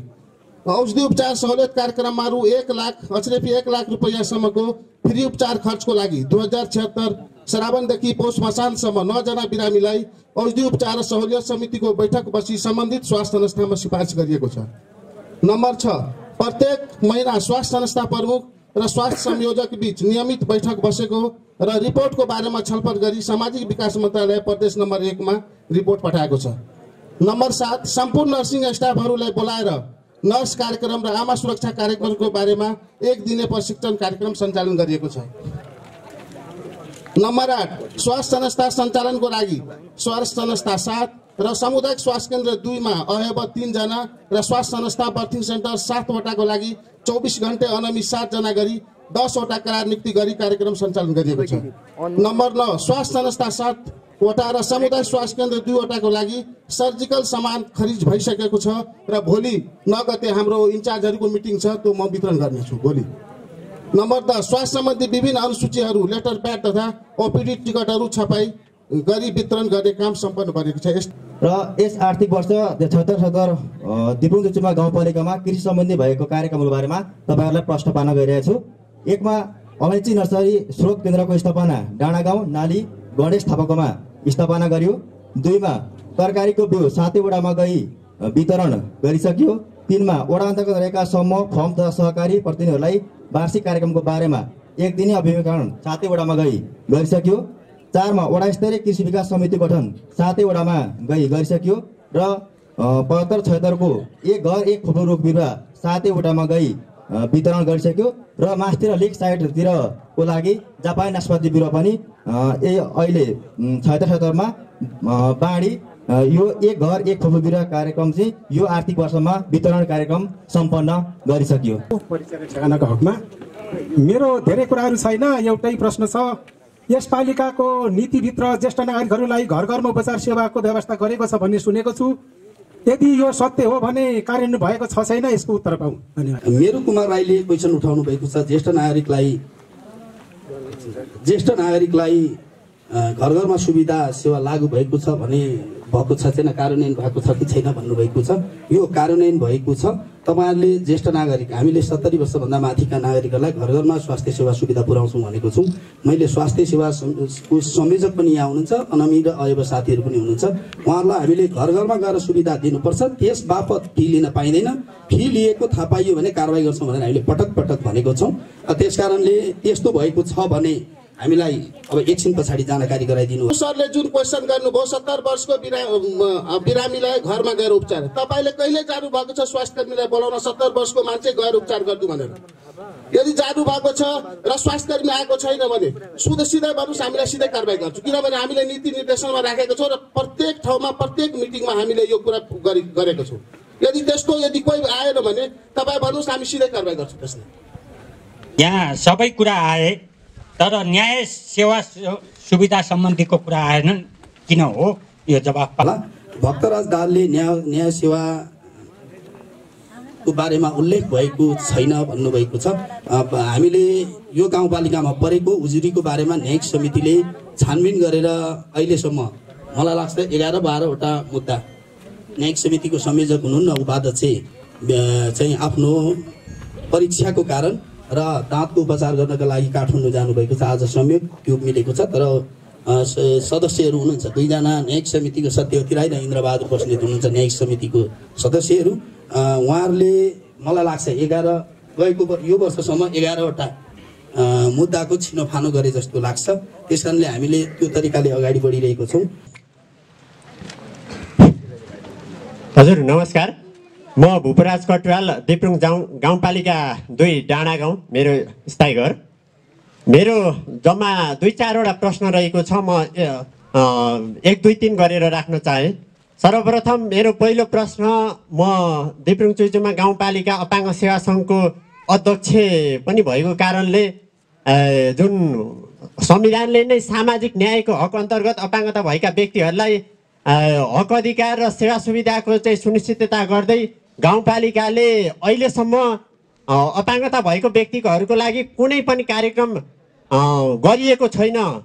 गत आर्थिक वर्षमा गरिएको प्रभावकारी देखिएन यो आर्थिक वर्षमा पनि गर्ने सुरसार गरिएको छैन। किन? एउटा अर्को अपाङ्गता परिचय पत्र वितरण कार्यविधि गाउँपालिका स्थानीय तहलाई आउँदै गर्दाखेरि खुसीको कुरा गाउँपालिकाले कार्यविधि त बनाएको छ तर कार्यविधि यो फागुन मसान्त पछाडि चाहिँ पुरानो कार्यविधि अनुसार बनेका परिचय पत्रहरू खारेज हुने भनेर भनिएको छ। अहिलेसम्म चाहिँ गत सालको वैशाखमा जेठमा शिविरमा परिचय पत्र बैसठीवटा बनाए पछि त्यस पछाडि औपचारिक रूपमा परिचय पत्र वितरण गरिएको छैन।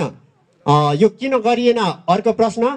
र अर्को जुन गाउँपालिकामा अपाङ्गता भएका व्यक्तिहरूको लागि समन्वय इकाइ समन्वय गर्नको लागि कार्यक्रमदेखि लिएर हरेक कार्यक्रमको समन्वय गर्नको लागि जुन एउटा समन्वय समिति उपाध्यक्षको नेतृत्वमा बन्ने नेपाल सरकारकै ऐनअनुसार बन्ने जुन समय समन्वय समिति बनेको छ तर अहिलेसम्म एउटा पनि बैठक बोलाइएको छैन।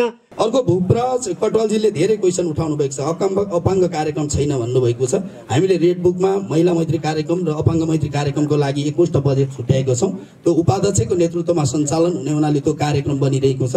त्यो अनुसार हुन्छ भनेर मैले तपाईँलाई ओख्रेको वडा नम्बर दुईको सार्वजनिक सुनवाईमा पनि भनेको थिएँ यहाँ पनि दोहोऱ्याउन चाहनुभयो। मैले अहिले त्यही नै उत्तर दिएँ। समन्वयको बैठक छैन भन्ने कुरा चाहिँ अब उपाध्यक्षको नेतृत्वमा त्यो समन्वय समिति बनेको छ। बैठक डाक्ने काम जिम्मेवारी तपाईँ पनि हो। किनभने तपाईँ पनि त्यसमा पक्का सदस्य हुनुहुन्छ। मैले चाहिँ त्यो कार्यविधि हेर्दै गर्दा त्यस कारणले बैठक बोलाउने राख्ने आफ्नो समस्या देखाउने त्यहाँ निर्णय गर्ने जिम्मेवारी ठाउँमा आफू बसेर बैठक भएको छैन। किन भनेर यहाँ सुनाउँदा अलिकति आफैप्रति गर्दाखेरि राम्रो हुँदैन होला जस्तो लाग्छ।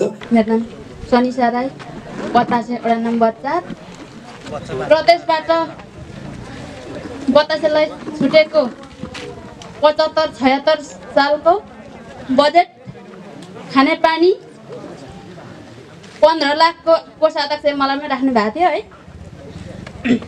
र पन्ध्र लाखको चाहिँ हामीले पाँच पाँचवटा ट्याङ्की बनाउनु लगाउनु भएको थियो। र हामीले पाँचवटा ट्याङ्की सम्पन्न पनि गरिसक्यौँ। तर त्यो पन्ध्र लाख पैसा कस्तो थियो के थियो त्यो मलाई कुनै पनि सूचना नगरी? थाहा नदी? उहाँहरूले कति निकाल्नु भयो मलाई त्यो। थाहा भएन। तर कोषाध्यक्ष मलाई राख्नुभयो अनि पहिला प्रदेशबाट काम सञ्चालन गर्नुको लागि पेचकी पनि दिनु भएन। त्यसपछि हामीले दुई लाख दुई लाख असी हजार चाहिँ हामीले ऋण काट्यौँ र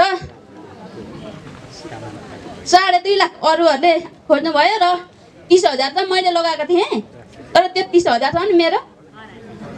बेपत्ता छ। त्यसपछि र र उहाँहरूले फाइफराक पनि सकियो भनेको चाहिँ सुने। तर मैले चाहिँ केही पनि गरेको छैन। त्यसमा साइन कसको भयो त्यत्रो पन्ध्र लाख पैसा निकाल्दा कसको साइनले त्यो पैसा निकाल्यो भने अब जम्मा खाता खोल्नको लागि चाहिँ मै म पनि गएको थिएँ र अनि सम्झौता गर्न पनि गएको थिएँ तर पछि पैसा निकाल्न चाहिँ मलाई सुझाव पनि दिनु भएन त्यसमा चाहिँ अब तपाईँहरूले यो योजनालाई चाहिँ गाउँपालिकाले हेरिदिनु हुन हार्दिक अनुरोध गर्दछु मेरो सनिसा राई बतासेबाट पन्ध्र लाखको योजना यो खानेपानी बतासेको योजना भनेर आएको थियो। बतासे खानेपानी योजना पन्ध्र लाख भनेर आएको थियो। यो योजनाको बेलामा यो योजना सञ्चालनको बारेमा गम्भीर रूपमा गाउँपालिकाले लिएको छ मैले लिएको छु। यो प्रदेश समन्वय परिषदको मिटिङ। मुख्यमन्त्री माननीय मुख्यमन्त्री शेरधन राईको अध्यक्षतामा हुने बैठकमा पनि अस्ति मैले अठाइस गते यो कुरा उठाएको छु। यो घटना तपाईँले नभने पनि हामी माझमा कतै न कतैबाट आइपुगेको घटना हो। तपाईँको सदस्य हुनुहुन्छ तर तपाईँले साइन नगरी तपाईँको हस्ताक्षर नगरी नगरी बैङ्कबाट पैसा निकासा भएको उल्लेख भएको छ। त्यो कुरा पनि मैले गरेको छु। त्यो मात्र होइन हामी गाउँपालिकाले रमाइलोदेखि पञ्चमीसम्म कालचिन खोलासम्म जोड्ने बाटो भन्यौँ। त्यो बाटोमा हामीले वार पार ड्रेन बनाएको छौँ। पानी कुद्ने बर्खामा हाम्रो बाटो भत्काउँछ। त्यस कारणले त्यो बाटोमा हामीले कुलो काट्नुपर्छ भनेर ड्रेन खन्यौँ तर प्रदेशको त्यो बजेटले त्यही ड्रेनको इस्टिमेट गरेर पैसा निकासा भएको छ। त्यस कारणले हामीले त्यो योजनालाई अत्यन्तै गम्भीरतापूर्वक लिएको छौँ र आज तपाईँले सार्वजनिक रूपमा कुरा उठाउनुभयो। मैले त प्रदेश परिषदको मिटिङमै कुरा उठाएको छु। यसलाई गम्भीर रूपमा लिएको छु र मैले के सुनेको छु भने खानेपानी डिभिजन कार्यालयले पुनः अर्को इस्टिमेट गर्न पठाउँदैछ भन्ने सुनेको छु त्यसलाई अब चेन्ज गर्नुपर्छ। प्रदेश परिषदमा अध्यक्षले कुरा उठाइसक्नुभयो। अब त्यसको इस्टिमेट चेन्ज गर्नुपर्छ भनेर कुरा उठेको छ अरे खानेपानी डिभिजन कार्यालय ओखलढुङ्गामा। म त्यो आपत्ति प्रकट गर्न चाहन्छु। पहिलो त हामीले खनेको कुल्लो किन नापियो? हाम्रो हाम्रो सरकारको विषय त्यो हो। र हामी कुनै पनि हाम्रो गाउँपालिकाको बजेट हामीले बाँड्ने बजेट सङ्घीय सरकारले बाँड्ने बजेट प्रदेश सरकारले बाँड्ने बजेट काहीँ पनि कमिसनको खेल हुन दिँदैनौँ भन्ने हाम्रो प्रतिबद्धता हो। त्यस कारणले नागरिक तहसम्म हामीलाई खबरदारी होस् हाम्रो पनि खबरदारी होस्। हामी भन्न चाहन्छौँ त्यसैको कारण हामी यसमा लागिरहेको छौँ। अब तपाईँले सार्वजनिक रूपमा सनिसा राईले कुरा उठाइसक्नु भएपछि यो गाउँपालिकाको सार्वजनिक विषयको वस्तु बनेको छ। अब मैले तपाईँको अध्यक्ष म अहिले चिन्दिनँ। को अध्यक्ष हुनुहुन्थ्यो? तपाईँ मार्फत म अध्यक्ष लगायत तपाईँहरूको टोलीलाई यो गाउँपालिकामा झिकाउँछु। र त्यसको भएको यथार्थ के हो किन त्यो भयो? र त्यसमा अरू धेरै कुराहरू पनि छन्। यो बिचमा म भनिनँ। त्यो आइसके पछाडि त्यसको कानुनी दायरामा ल्याउने जिम्मेवारी मेरो भयो यो मैले प्रतिबद्धता अहिले यति नै जनाएँ। अघिल्लो वर्षको भन्दा धेरै राम्रो सवालहरू आएका छन्। परिष्कृत सवालहरू आएका छन्। त्यसको जवाब पनि भएको छ। र यहाँ अहिले छुटिराखेको कुरा। यहाँ मैले देखिरहेको छु एकदम दिग्गज व्यक्तित्वहरू अगाडि हुनुहुन्छ। धेरैजनालाई म चिन्छु। उहाँहरूले कपी राख्नु भएको छ। अब मेरो सवाल के भनेर कपी रहनु भएको छ? सकेसम्म छिटो गरौँ किनभने तिन बजेर अगाडि गइसकेको छ। समयले पर्खिँदैन फेरि अर्को दिन हामी समय दिन सकिरहेको छैनौँ। र यहाँ खटेको चाहिँ कुरा के हो भनेदेखि यहाँहरूले अहिलेसम्म उठाउनु भएन। अत्यन्त महत्त्वपूर्ण व्यक्तित्व। म देखिरहेको छैन किन हो? अ, त्यसको जवाब प्रमुखले दिनुहोला। उपाध्यक्ष आउनु भएको छैन। योभन्दा महत्त्वपूर्ण सवाल यति महत्त्वपूर्ण कार्यक्रम हतपत्त गाउँमा हुँदैनन्। उहाँ आउनु भएको छैन। त्यो चाहिँ अलिक अन्यलमा परियो। किन आउनु भएन? पहिले एकछिन एकछिन एकछिन। अब कस्तो भने पहिलेको जस्तो उपाध्यक्ष होइन। उस बेलाको जस्तो अध्यक्ष र उपाध्यक्ष होइन। अध्यक्षको अनुपस्थितिमा उपाध्यक्षले काम गर्ने भन्ने मात्रै छैन। उपाध्यक्षका स्पष्ट अधिकारहरू छन्। ती अधिकारहरू बारेमा अहिले पनि कुरा उठिरहेको छैन एउटा यहाँहरूले। त्यो उठाउँदाखेरि पनि हुन्छ। अनि अर्को कुरा फेरि कर्मचारी मित्रहरू रिसाउनु होला। यति महत्त्वपूर्ण कार्यक्रममा यहाँ म देखिरहेको छु यो कार्यक्रममा कर्मचारीको पोसाक भत्ता भनेको छ। पोसाक लगाएको कर्मचारी एक दुईजनाभन्दा बढी देखिरहेको छैन। यो बारेमा तपाईँहरूले उठाउनु भएको छैन। महत्त्वपूर्ण कुरा हो नि कर्मचारी भनेर कसरी चिन्ने? म हुँ कि होइन त कर्मचारी दुई दुईचुकमा गाउँपालिकाको। अब यहाँ बल्ल बल्ल एकचोटि आउने मान्छेहरू कसरी थाहा पाउने? एउटा त्यो विषय। यो यी यस्ता कुराहरूमा ध्यान दिनुपर्छ होला। तपाईँहरू उठाइरहनु भएको छैन। अनि फेरि एकदम ज्वलन्त समस्या भनेको तपाईँ फाँटमा आएर काम गर्दाखेरि कर्मचारीले राम्रो सुवि प्रवाह गरेको छ कि छैन? बा झुलाएको छ बा भोलिपल्ट आउनु भनेको छ। यो विषयमा त अहिले अघि भीम सरले भन्दै हुनुहुन्थ्यो दरबन्दी पनि तोक्दै हुनुहुन्थ्यो हामी जम्मा यतिजना मात्रै छौँ पनि भन्दै हुनुहुन्थ्यो। उत्तर त्यो हुनसक्छ। तर पनि तपाईँहरूले सेवा राम्ररी पाउनु भएको छ कि छैन? महत्त्वपूर्ण कुरा चाहिँ त्यो हो। यी कुराहरू उठिरहेका छैनन्। यस्ता झिना मसिना कुराले मान्छेलाई असर गर्छ। अब ठुल्ठुला योजनाहरूको बारेमा भन्दा पनि यी सामान्य कुराले असर गर्छ। यस्ता कुराहरू पनि उठाइदिनु भएदेखि हुन्थ्यो भन्ने मेरो आग्रह हो। कर्मचारीको पोसाक खोइ सेवा कसरी पाइरहनु भएको छ भन्ने कुरा चाहिँ मा समन्वय गरिदिन कोसिस गरिदिनु भएको छ। आदरणीय कृष्ण दाईले पत्रकार कृष्ण आचार्य दाईले म त दाईलाई धन्यवाद दिन चाहन्छु। मैले पनि यो खोजिरहेको छु। कहिलेकाहीँ म पनि खोज्छु तर आज चाहिँ हेर्दा दाई ज्याकेट लाउनु भएको रहेछ साथीहरूले। अब कि स्वेटर र ज्याकेट खोलेर एकचोटि उभ्याउनु पऱ्यो होइन भने उहाँहरूको ड्रेस चाहिँ कर्मचारीकै रहेछ। यहाँ बस्ने साथीभाइहरूको ड्रेस चाहिँ कर्मचारीकै ड्रेस लाउनु भएको रहेछ। जाडो महिना छ त्यो हिम्मत मैले गरिनँ। र अर्को कर्मचारीको सेवा कसरी पाइरहनु भएको छ भन्दा दाईले चाहिँ दुईचोटि आइसक्नुभयो। राति नौ बजीसम्म अफिस खोलेको दाईले थाहा पाउनु भएको छ। त्यस कारणले कतै सेवा सुविधा पाउनु भएको छैन। म साथीहरूलाई यति बेला भनिहालेँ। हामीले सुशासनमा पारदर्शितामा भ्रष्टाचारमा शून्य सञ्चालन नीतिमा काहीँ पनि दायाँ बायाँ हुँदैन। तपाईँहरूलाई हाम्रो प्राविधिकले कर्मचारीले काहीँ कमिसन मागेको छ। तपाईँहरूलाई हाम्रो प्राविधिक आउँदै गर्दा तपाईँहरूको भाले खाइदिएको छ र योजनामा पच्चिस सयको भाले खाएर पचास हजारको बिल बनाएछ भने त्यो अहिले भन्नु पर्यो। म अहिले यहाँ तयार रातो पेन बोकेर बसेको छु। मलाई अधिकार त्यही छ। त्यस कारणले त्यो कारवाही हुन्छ। र यहाँ सेवा सुविधा दिँदै गर्दा ढिला सुस्ती काहीँ कतै अल्झाएर अलिअलि लिने मनसायले कतै अल्झिनु भएको छ भने त्यो पनि भन्नु पर्यो। किनभने यसैको लागि सार्वजनिक सुनाइयो। तपाईँहरूले पछि गाली गर्नुभन्दा अहिले गाली गर्नुभयो भने हामीलाई पनि फाइदा हुन्छ। सच्चिने मौका पनि पाउँछौँ। तपाईँहरूले नै हो हामीलाई सच्याएर लाने जनप्रतिनिधिलाई। हामी त्यही भएर जवाफदेही छौँ दिप्रुङ सिचुममा गाउँपालिका वडा नम्बर एक याम मेरो सवाल चाहिँ पालिका प्रमुखज्यूलाई छ। अर्थ मन्त्रालय अन्तर्गत अ, बाट विनियोजित रकम समपूरक कोषको रकम शीर्षक अन्तर गरेर विकास निर्माणमा लगाउनु भएको प्रश्न छ। त्यो किन भयो? एउटा विषय।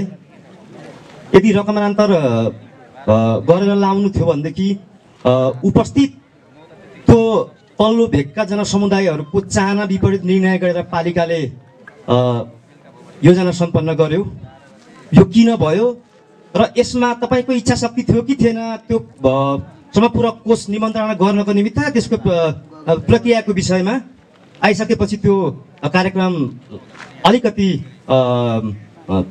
विषय अन्तर गयो। त्यो किन भयो एउटा? र अर्को प्रदेशसभा सदस्यको तर्फबाट आएको क्षेत्रपा क्षेत्र पूर्वाधार विकासको कार्यक्रममा त्यो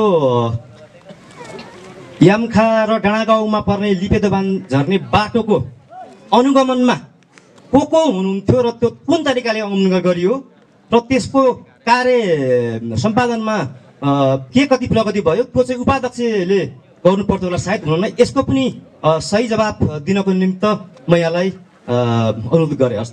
म त्यतातिर गएँ। गगन राईजीले समपूरक कोषको विषय चाहिँ तपाईँले चाहिँ शीर्षक चेन्ज गरेर योजना सञ्चालन गर्नुभयो भन्नुभयो र चाहिँ त्यसमा तपाईँको भूमिका थियो कि थिएन भन्नुभयो।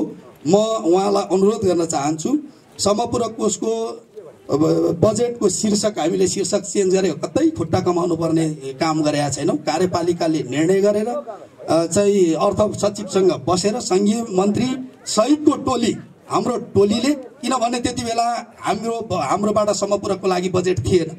एकैचोटि बजेट समपूरकको बजेट आयो। अब त्यो बजेट कार्यान्वयन नगर्दा कस्तो भयो भने? आरोप के आउने भयो भने कार्यान्वयन नगर्दै गर्दा आरोप के आउने भयो भने? हामीले लगाइदिएको बजेट कार्यान्वयन गरेन किनभने त्यहाँ काङ्ग्रेसको नेतृत्व छ भन्ने आरोप हुने भयो। कार्यान्वयन गरौँ हामीसँग त्यो कार्यविधि अनुसारको बजेट छैन।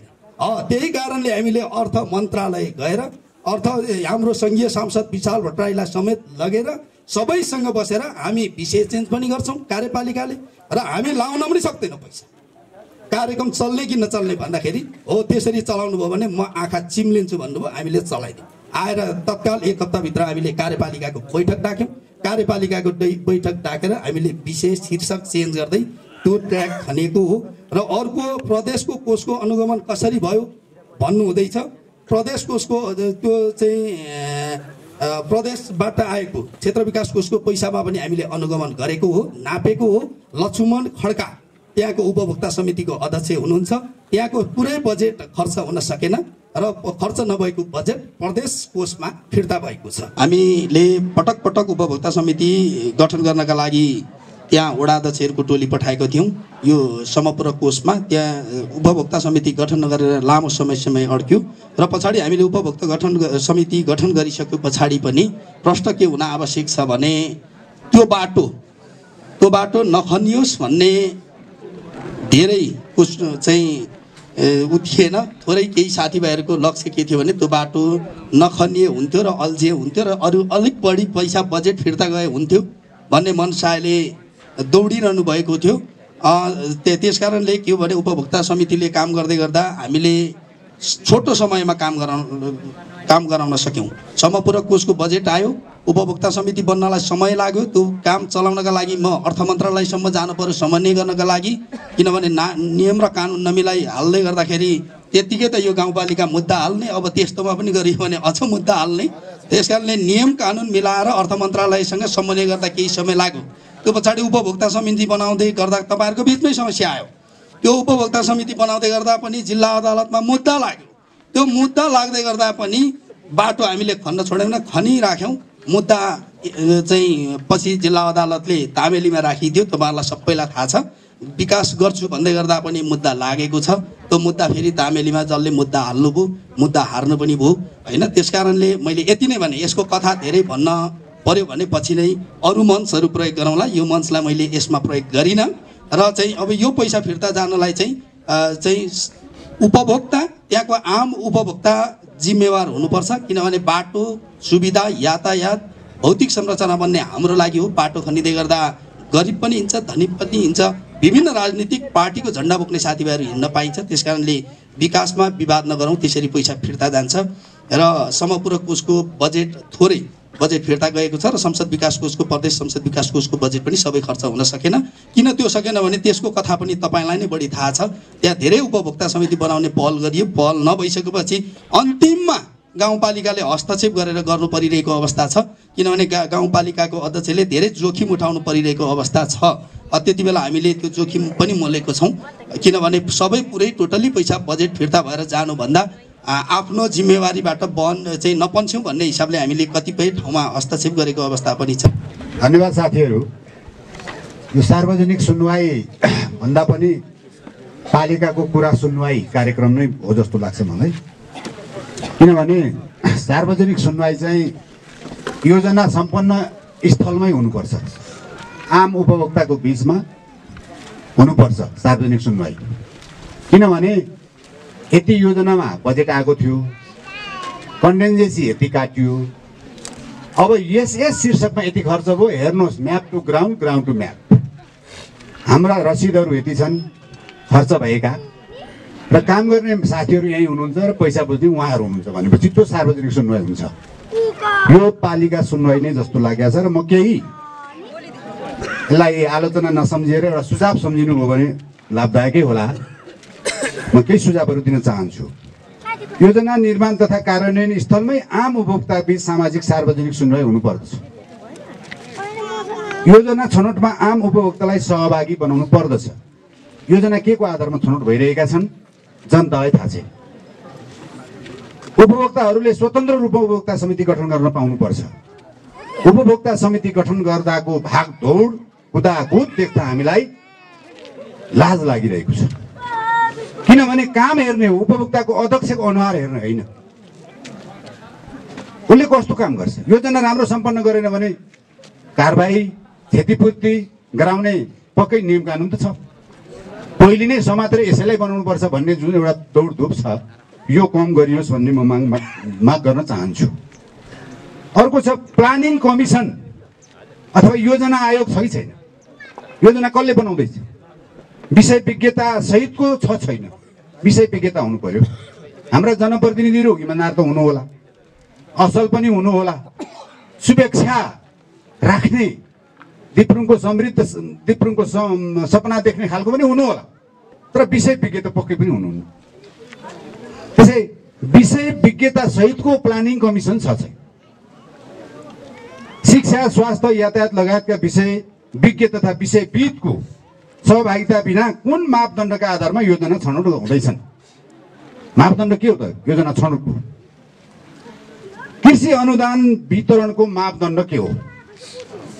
कृषिमा भएका लगानीको उपलब्धि सन्तोषप्रद छ कि छैन? त्यसको उपलब्धि के आएको छ अहिलेसम्म? त्यो हामीले थाहा पाउनु पर्यो। जनताहरूले थाहा पाउनु पर्यो। योजनाहरू map to ground ground to map हुनु पर्यो। म्यापमा भए जस्तै ग्राउन्डमा देखिनु पर्यो र ग्राउन्डमा भए जस्तै म्यापमा हुनु पर्यो। म्यापमा एक खालको ग्राउन्डमा एक खालको हुनु भयो अर्को एउटा ज्वलन्त एउटा छ। यो शान्ति सुरक्षासँग सम्बन्धित कुरा। एक्काइस सालदेखि सञ्चालित स्थायित्व प्राप्त गर्ने प्रहरी चौकी छितापोखरी पालिकामा स्थानान्तरण भयो। पालिकामा शान्ति सुरक्षाको व्यवस्थापन गर्न किन त्यहीँको स्थानान्तरण गरियो? अथवा लु गौरव गृह मन्त्रालयले यो स्थानीय सरकार आजसम्म मौनता सान्नुको अर्थ के हो? शान्ति सुरक्षा पालिकामा चाहिन्छ ठिक छ। नेपाल सरकारले व्यवस्था गर्ने हो। मलाई जाडो भयो भन्दैमा अर्काको ज्याकेट खोसेर लाउने। अर्को पसलमा पाइँदैन ज्याकेट। त्यसकारण एउटाको नाङ्गो ढाक्न ढाक्नको लागि अर्कोलाई नाङ्गो गराउन पाइँदैन। अरू जनतालाई शान्ति सुरक्षा चाहिँदैन। त्यत्रो करोडौँ व्यवसाय हुने व्यापारीहरू बसेको ठाउँमा शान्ति सुरक्षा चाहिँदैन। त त्यसमा स्थानीय सरकारले मौनता साधेको कुरा हामीलाई चित्त दुख्या छ। त्यो मौनता साध्नु हुँदैन हो। एउटा त्यहाँका जनताहरूलाई पनि सहयोग हुने गरी केही भूमिका निर्वाह गरिदिएको भए हुन्थ्यो भन्ने मेरो गुनासो हाम्रो गुनासो। छ। यहाँ मात्र होइन शान्ति सुरक्षा त अरू पनि थप्नुपर्छ। पहल गरौँ न। तर भएकाहरूलाई बिगार्नु भए र म धेरै कुरो यहाँ खोतल्न पर्छ भन्नेमा छुइनँ। होलान् काम गर्दा धेरै गल्ती कमजोरी होला। तर यी कुराहरूलाई सुझावको रूपमा ग्रहण गरेर आगामी दिनका यी सार्वजनिक सुनवाईहरू अझ व्यवस्थित परिमार्जित र वास्तविक पत्यारिलो खालको धारा टार्ने खालको होइन। पत्यारिलो खालको होस् भन्ने शुभकामना दिँदै बिदा हुन्छु। अर्को केशव कार्कीजीले कुरा उठाउनु भएको छ।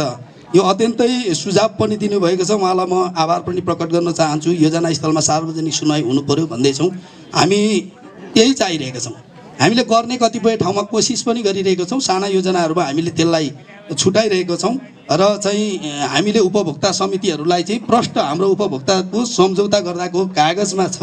त्यहाँ चाहिँ बोर्ड राख्नुपर्छ कतिको योजना हो कहिले सम्झौता भएको हो कहिले सम्पन्न गर्ने हो कतिको लागत हो त्यो बोर्ड राख्नुपर्छ र त्यो बोर्ड अनुसारको काम गरेर फरफार गर्न आउँदा सार्वजनिक सुनाइ गरेर आउनुपर्छ भन्ने गरेको छौँ। तर उहाँहरूले गरिरहनु भएको छैन भने अब यो योजना जसले चलाइरहनु भएको छ यो चालु योजनाहरू त्यो गर्न आवश्यक छ। उहाँको सल्लाह सुझाव राम्रो छ उपभोक्ता समिति खुल्ला हुनुपर्छ भन्नुभएको छ। यो हामीले खुल्लै गरिरहेको छौँ। खुल्ला हामीले गाउँपालिकाले यो वर्ष एउटा पनि उपभोक्ता समिति बनाइरहेको छैनौँ र ओडालाई हामीले इसारा पनि गर्दैनौँ र ओडाबाट विवादित भएर आएको योजनाहरूलाई पनि हामीले पटक पटक फिर्ता गरिरहेको छौँ।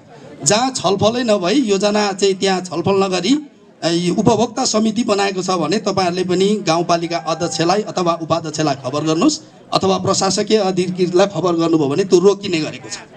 किनभने त्यहाँ हामीले योजना बजेट बाँडेको छौँ। गाउँ गाउँपालिकाको अन्तर्गतको योजना पनि छ ओडागतको योजना पनि छ। तथापि तपाईँहरूले के बुझिदिनु भएन भने ठुलो योजनाहरू चाहिँ गाउँपालिकाले उपभोक्ता समिति बनाउने रहेछ भन्ने कुरा बुझिदिनु भएन त्यो ओडा तह मार्फतै बनाउने हो। ओडालाई हामीले पूर्ण अधिकार दिएको छौँ।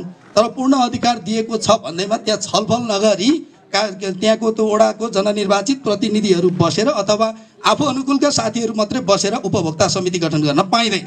त्यो हामीले प्रष्ट भनेका छौँ। यहाँ हामी चाहिँ विभिन्न राजनीतिक दलको झन्डा र आदर्श बोक्ने साथीभाइहरू जननिर्वाचित भएको छौँ। यो हामी साझा हो। त्यस कारणले त्यहाँ साझा भएर देखा पर्नुपर्छ हामीले भनेको छौँ। कसैलाई पनि यो बना त्यो बना भन्ने हामीले गरेको छैनौँ। अर्को चाहिँ योजना विज्ञ योजना आयोग छ कि छैन भन्ने हुनुहुन्छ। हाम्रो योजना आयोगको चाहिँ योजना आयोगको सदस्यहरू भन्ने नागरिक हो नागरिकको आवश्यकता अनुसार हामी योजना बनाउँदैछौँ। त्यस कारणले जनताको माग अनुसार योजना बनाउने हुँदाखेरि ओडाबाट माग भएर आएको योजना पनि जनताले मागेको नागरिक तहबाट मागेको योजनाहरू हुन्। ती सबै कलेक्सन गरेर हामीले बजेट वितरण गर्ने गरेको छौँ। दिप्रुङ चुइचुमा गाउँपालिका अथवा कुनै पनि स्थानीय तहमा अहिले योजना आयोगको व्यवस्थापन छैन। अर्को चाहिँ मापदण्ड कृषि अनुदानको मापदण्ड हामीले पुरा गर्ने गरेको छौँ। हामीले कृषि संयोजक लगायत जेटिए साथीभाइहरूलाई प्रश्न भनेको छौँ कि कुनै पनि योजना हामीले दिँदै गरेको योजना अपुरो छ भने त्यसबाट लिने कसरी अब हामीले? त्यो योजना फिर्ता गर्न सक्ने गरी हामी योजना सम्झौता गर्दैछौँ। तपाईँहरूलाई लाग्यो होला कुनै योजना सम्झौता भएर काम भएको छैन भने त्यो हामीलाई भन्नु पर्यो। छिमेकी हो भने लिखित दिँदा हुन्छ। तपाईँले अहिले बोल्न सक्नु भएन भने हामीलाई लिखित दिँदा हुन्छ। अघि एकजना साथीले दिनेश तामाङको कुरा खुलेर भन्नुभयो त्यसरी बोल्न सक्नेले खुलेर भने हुन्छ। बोल्न सक्नुहुन्न लिखित दिँदा पनि हामी आपत्ति जनाउँदैनौँ र हामीले बाँडेको योजना कार्यान्वयन भएको छैन भने हामी कारवाही गर्छौँ। त्यो पहिला पनि हामीले भनेका छौँ कृषि विकास बैङ्कको लोन निकाल्ने बाख्रा पालनको लागि पैसा छोरा पढाउन अथवा छोरी पढाउनका लागि पठाउने भन्ने व्यवस्था चाहिँ हामीले तोडेको छौँ। त्यस कारणले त्यतातिर हामीले अलिकति व्यवस्थापन गरेको छौँ। अर्को शान्ति सुरक्षा प्रहरी चौकीको बारेमा कुरा उठेको छ। हामी गाउँ कार्यपालिकाले गरेको कुरा के हो भने आज मौका पनि दिनुभयो। म तपाईँलाई धन्यवाद पनि दिन चाहन्छु। गाउँपालिकाले गरेको के हो भने सरकारको सङ्घीय सरकारको नीति अनुरूप गाउँपालिकामा इन्सपेक्टरको इन्सपेक्टर सहित पच्चिसजना नगरपालिकामा डिएसपी सहित सत्ताइसजना अथवा तिसजना कति भनेको छ त्यो राख्ने नीति लिएर सरकारले गरिसके पश्चात हामीले उयो माथिको डाँडा प्रहरी चौकीको नाममा पास गरेको छौँ र हामीले शान्ति सुरक्षाको लागि माग मात्रै गरेका छौँ छितापोखरीको चौकी यहाँ झारिदिनुपर्छ भनेको छैन। तथापि मैले बोल्नै पर्ने हुन्छ तपाईँ समाजवादी पार्टीको नेता हुनुहुन्छ यति बेला तपाईँको पार्टीको त्यति बेला असार सात गते यो निर्णय भएको छ। तपाईँको पार्टीको नेता त्यति बेला उप प्रधानमन्त्री हुनुहुन्छ गृहमन्त्री यति बेला रामबहादुर थापा बादल हुनुहुन्छ। हामीले त शान्ति सुरक्षा गाउँपालिकालाई चाहियो भनेर मात्रै लेखेका छौँ। त्यसले अब कुन निर्णय गर्यो त्यो हामीलाई यहाँ कपी आइसकेको छैन। प्रहरी साथीभाइहरू आएर यहाँ बस्नु भएको छ त्यति मात्रै हो। त्यस कारणले जिम्मेवार को हो भन्ने कुरा मात्रै मैले प्रश्न पार्दिन खोजे हो किसान अ, मेरो एउटै मात्र जिज्ञासा छ धेरै राख्न चाहिँ यो जुन दिप्लुङ चिचुमा गाउँपालिका एउटा शिक्षाको विषयमा यहीदेखि पटक पटक कुराकानी उठिरहेको छ यो विषय अलिक संवेदनशील भएको हिसाबले मैले थोरै कुराकानी गर्न चाहेँ। यो विद्यालय व्यवस्थापन समिति गठन गर्ने सन् सन्दर्भमा हाम्रो सातैवटा वडाहरूमा पूर्ण रूपमा चाहिँ सहमतिको आधारमा होस् या चाहिँ सहमति नभएको ठाउँहरूमा एउटा निर्वाचन चाहिँ शिक्षा नियमावलीको आधारमा भएर टुङ्गिएको लगभग लगभग जानकारी छ मलाई। र त्यसमध्येबाट बाँकी रहेको हाम्रो याङसोला माध्यमिक विद्यालयको तहमा चाहिँ एउटा विषयवस्तु जुन अ, दिप्लुङ चिजुमा गाउँपालिकाले पत्र पठाएर नेमालीको आधारमा चाहिँ अब जुन विद्यालय व्यवस्थापन गठन हुनुपर्छ भनेर चाहिँ पत्र पठाएको छ। त्यही आधारमा सहमतिको आधारमा यो भदौ ए असोजको मसान्त भित्रमा चाहिँ अब टुङ्गो लगाएर पठाउनु भनेर चाहिँ जुन एउटा आह्वान गरिएको पत्र छ त्यसको आधारमा असोजको उन्तिस गतेको एउटा दोस्रो बैठकले आम अभिभावकको भेलाले चाहिँ एउटा सर्वसहमतिको सा साथमा हामीले एउटा निर्णय गरेर अभिभावक भेलाले चाहिँ विद्यालय व्यवस्थापन समिति गठन गरेर पठाएको थियौँ। त्यसको लगभग निकै समयपछि त्यसको विवाद चाहिँ एउटा विवाद भयो र त्यसमा चाहिँ एउटा उजुरी पर्यो अथवा निवेदन पर्यो जिज्ञ अब गुनासो पर्यो भन्ने कुरा सुन्नुमा आयो र पछिल्लो चरणमा धेरै समयपछि त्यसको बिचको कुराहरू धेरै अब अलिक छोटो समयको भएको कारणले मैले धेरै कुरा भन्न चाहिँ त्यो त्यो पत्र चाहिँ पछि फेरि अब सर्वसहमत नभएको हुनाले विधिवत नीतिगत आधारले तरिकाले नभएको हुनाले त्यो विषयवस्तु चाहिँ फेरि चाहिँ उठान गरी त्यहाँको चाहिँ आम अभिभावकहरूको भेलामा पुनः चाहिँ गठन गरी पठाउनु होला भनेर एउटा पत्र चाहिँ पाएको मैले पनि। त्यो अध्ययन गरेँ पढेँ पनि। र त्यसको साथमा ओसी पनि पठाइएको छ जुन चाहिँ निवेदकले चाहिँ एउटा निवेदन पनि हालेको देखियो होइन?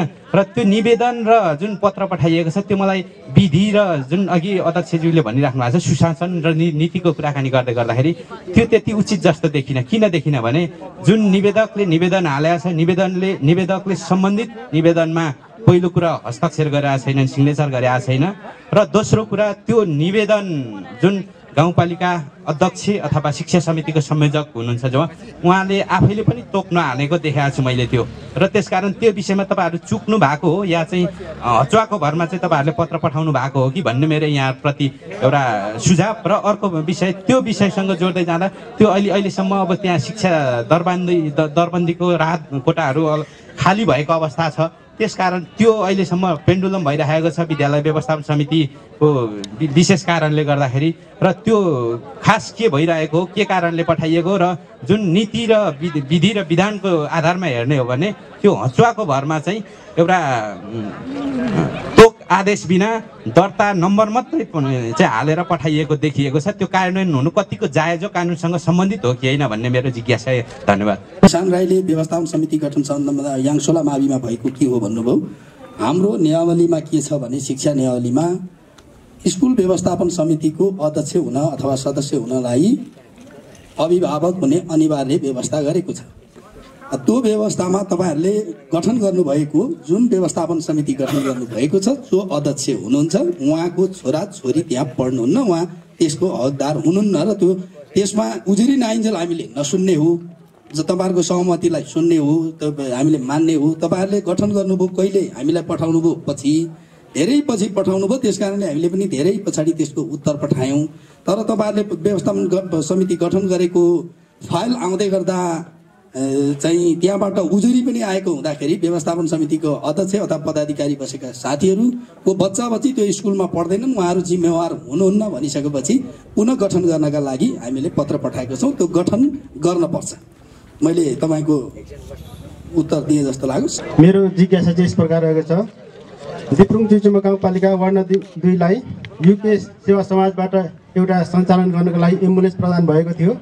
र त्यो एम्बुलेन्स अहिले गाउँपालिकाबाट सञ्चालन भइरहेको छ। यस सम्बन्धमा साबिकको पहिलेको त्यो एम्बुलेन्स सञ्चालक समितिको आर्थिक अनियमितता अथवा आर्थिक कारोबार सम्बन्धमा उजुरी परेको थियो र त्यसमा छान गाउँपालिकाबाट छानबिन समिति समेत गठन भएको थियो।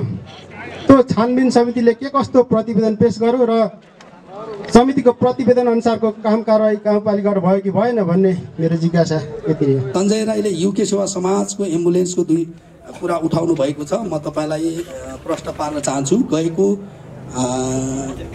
सार्वजनिक सुनवाई कार्यक्रममा पनि यो क्वेसन उठेको थियो र मैले त्यही प्रतिबद्धता जनाएको थिएँ।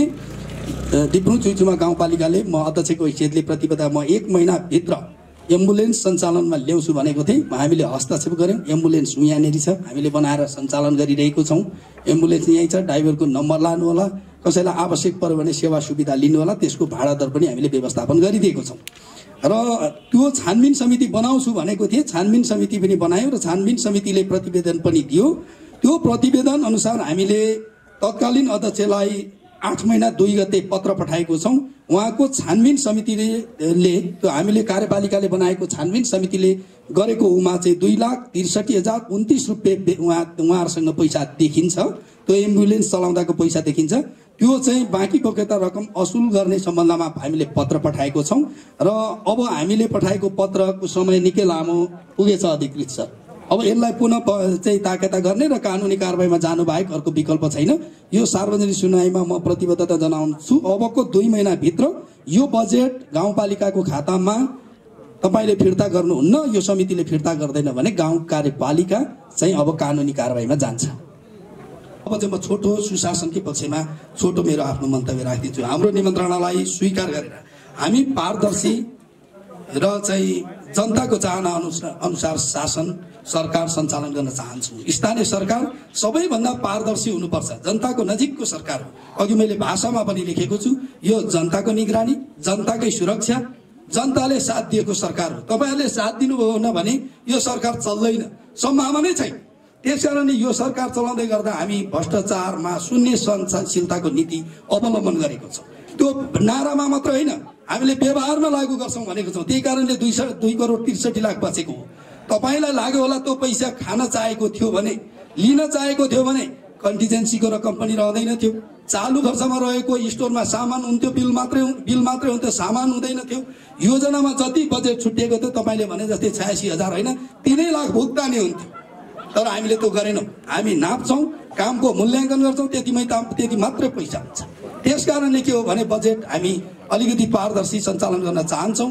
हामीले धेरै पटक चुनौती दिएको छौँ। पहिलो वर्ष मलाई अख्तियारमा मुद्दा लाउनु भयो। केही मुद्दा लाउने साथीभाइहरूको अनुहार अघि मैले देखिम रहँदै गइसक्नु भएछ।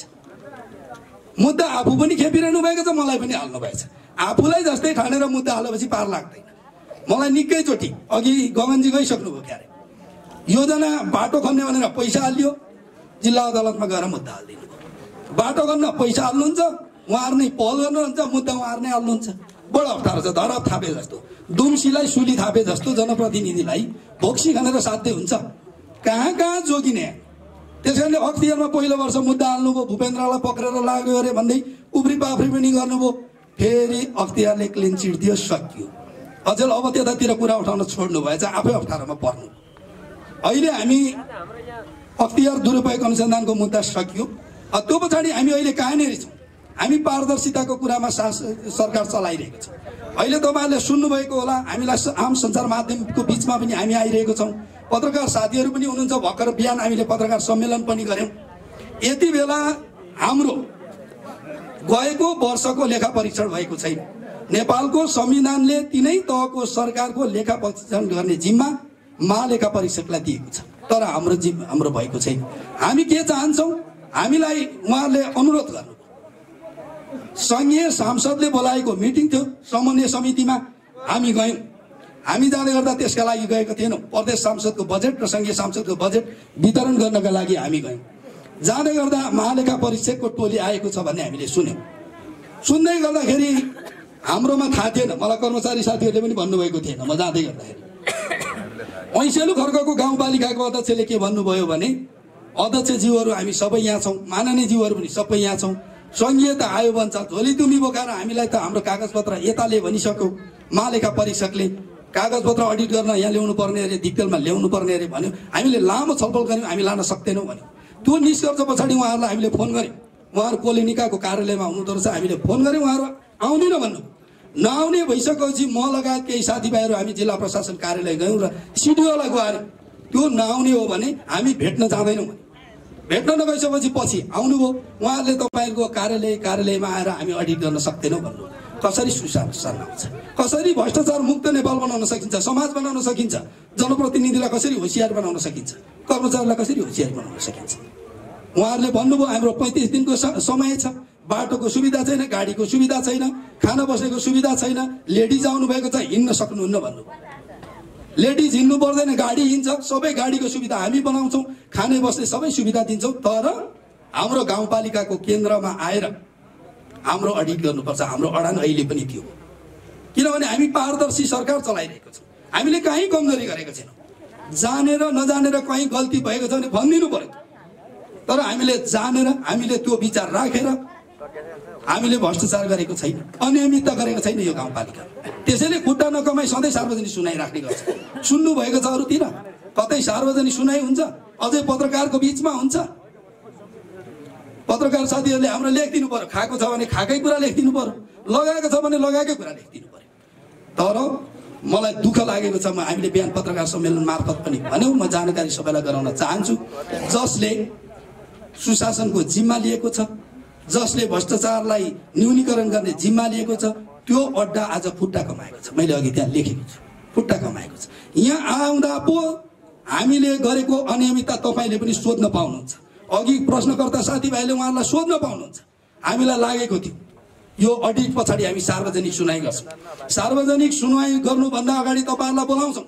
पत्रकारहरूलाई बोलाउँछौँ आम जनसरकारवालालाई बोलाउँछौँ उपभोक्ता समितिलाई बोलाउँछौँ राजनीतिक दललाई बोलाउँछौँ अनि हामी भन्छौँ हामीले गरेको काम पारदर्शी तरिकाले हेरिदिउँ श्रेष्ठ मिलाउने काम मात्रै होइन लेखा परीक्षण भनेको योजना पनि हेर्नुपर्छ। यो भवनमा एकचोटि मुद्दा भयो। तर हामीले यो भवनको फोटो मात्रै खिचाएर पठाउँदाखेरि चिट क्लिन चिट भयो। तर अख्तियारलाई पनि हामीले चिठी लेख्यौँ यो आएर भवन हेर्नु पर्यो किन मुद्दा? हामीलाई बस्ने ठाउँ छैन। भवन बनाउँदा मुद्दा हालिदिने समस्यामा पारिदिने। आखिरीमा फोटै पठाउँदा हुँदो रहेछ नि त। तर मैले मेरो भनाइमा के हो भने फोटोले मान्न हुन्न। कागजले हुँदैन लेखा परीक्षण। स्थलगत निरीक्षण पनि गर्नुपर्छ कतिपय योजनाको बा कागजमा मात्रै श्रेष्ठता मिलेको छ। डिटेलमा लाँदै गर्दा तपाईँले अडिटर भेट्न पाउनुहुन्छ सोध्न पाउनुहुन्छ तपाईँको गुनासो यति धेरै मात्रामा रहेछ। आज झन्डै झन्डै डेढ सयवटा गुनासोको प्रश्न हामीले उत्तर दिन कोसिस गरेँ यति ठुलो गुनासो छ नागरिकमा। त्यो अडिटरले सुन्नु पर्दैन त्यो अख्तियारले सुन्नु पर्दैन नागरिकको। काम भएको छ भने भएको छ भएको छैन भने स्टिलको साङ्लो लाएर लान सक्नु पर्यो नि त। हामी त्यो चाहन्छौँ। तर जसले त्यो जिम्मा लियो सुशासनको जिम्मा लिएको छ अनियमिततालाई न्यूनीकरण गर्ने जिम्मा लिएको छ आज उसैले खुट्टा कमाएपछि हाम्रो अडिट हुन लेखा परीक्षण हुन बाँकी रहेको छ दुःख लागिरहेको छ। तर हामी अझै पनि पहल गरिरहेको छौँ। हाम्रो गाउँपालिकाको लेखा परीक्षण हाम्रो कार्यालयमा हुनुपर्छ। नागरिकको बिचमा हुनुपर्छ सरकारवालाको बिचमा हुनुपर्छ आम जनसमुदायको बिचमा हुनुपर्छ। त्यो भयो भने पो पारदर्शी सरकार चल्छ त। र पनि भोलि पनि दिपुङ चुइचोमा गाउँपालिकाको नागरिकहरूले शिर झुकाउनु पर्दैन त। वडा अध्यक्षलाई गाउँपालिका अध्यक्षलाई प्रशासनका सम्पूर्ण कर्मचारीलाई झोली तुम्बी बोकाएर डिटेल छाट्योपछि यो ढोका खुल्छ कि खुल्दैन? आफैमा पाँचजना कर्मचारी हुनुहुन्छ। अनि तिनजना मान्छे श्रेष्ठ लिएर हिँड्ने गाउँपालिका अध्यक्ष र वडा अध्यक्षहरू स्पष्टीकरण स्पष्टीकरण दिन सम्बन्धित निकायमा जाने हो भने यो ढोका खुल्छ कि खुल्दैन? त्यस कारणले हामीले यो कुरा बन्द गरेका छौँ। हामीलाई संविधानको भावना अनुरूप सङ्घीयताको भावना अनुरूप यो सरकार हो। यो सरकारको अडिट लेखा परीक्षण यही कार्यालयमा हुनुपर्छ भन्ने भलै केही साथीभाइहरू के गर्दै हुनुहुन्छ? म तपाईँलाई भनिदिन्छु। यसो म कहिलेकाहीँ सामाजिक सञ्जाल हेर्छु। टङ्कमणि शर्मा अहिले महालेखा परीक्षकको कार्यालयमा प्रमुख हुनुहुन्छ। उहाँ खोटाङमा जन्मिनु भयो। केही साथीभाइहरू कस्तो हुनुहुन्छ भने हामीले यहाँ लेखा परीक्षण गराएनौँ सदरमुकाममा लगेनौँ उहाँहरू फर्केर जानुभयो। हुरुरुरुरुरु कुदेर कोही साथीभाइ काठमाडौँ जानुभएको छ र लेखा परीक्षकलाई पोल लाउनलाई अब त्यसलाई टाइट गर्नुपर्छ त्यसलाई यसो यसो पार्नुपर्छ तपाईँको मानहानि गर्नु भनेर उहाँ सुझाउन काने खुसी पुग्नु भएछ। पुगेर नगरेको भए हुन्थ्यो नि फोटो खिचेर फेसबुकमा नलाएको भए त हुन्थ्यो नि फेसबुकमा पनि हाल्नुभएको छ आज यहाँ आउनुभयो नि फेरि आएर क्वेसन गरेको भए हुन्थ्यो नि म मजाले त्यसो जवाफ दिन्थेँ। उहाँ गएर दायाँ र बायाँ पढी कार्ड जस्तो उभिएर फोटो हाल्नुपर्छ। हामी खुट्टा कमाउने भएदेखि हामीले अनियमितता गरेको थियो भने हामी आचरणहीन भएको थियौँ भने आज सार्वजनिक सुनाइ गर्थ्यौँ आज हामी महालेखा परिषदको कार्यालयलाई यहाँ आएर हाम्रो अडिट भन्न सक्थ्यौँ। मुख्यमन्त्रीको मुख्यमन्त्रीले आह्वान गरेको प्रदेश परिषदको मिटिङमा हामीले यो मुद्दा उठायौँ। मैले यो मुद्दा उठाएँ राष्ट्रियकरणको मुद्दा भयो। राष्ट्रिय मुद्दा भयो। अस्ति टङ्कमणि शर्मा त्यहीँ हुनुहुन्थ्यो। धेरै गाउँपालिका अध्यक्षहरूले त अरू कुरा पनि गरिदिनु भयो उठाइदिनु भयो। किनभने जनप्रतिनिधि अहिलेको जनप्रतिनिधि अख्तियार देख्दा महालेखा परीक्षक देख्दा सम्पत्ति शुद्धिकरण छानबिन आयोगलाई देख्दा लुकलुकी कामले हो भने जनताको किन विश्वास लिने? हामी लुकलुक काम दिदैनौँ हामीले जे काम गर्न आएको त्यो काम गरिरहेको हुन्छौँ जनताको काममा गऱ्यौँ म सामान्य उदाहरण दिन चाहन्छु यो महालेखा परीक्षकको बारेमा म अलिकति समय खर्च गर्छु। हामीले धेरै राहत वितरण गरेका थियौँ आज राहत वितरणको बारेमा कुरा उठेन।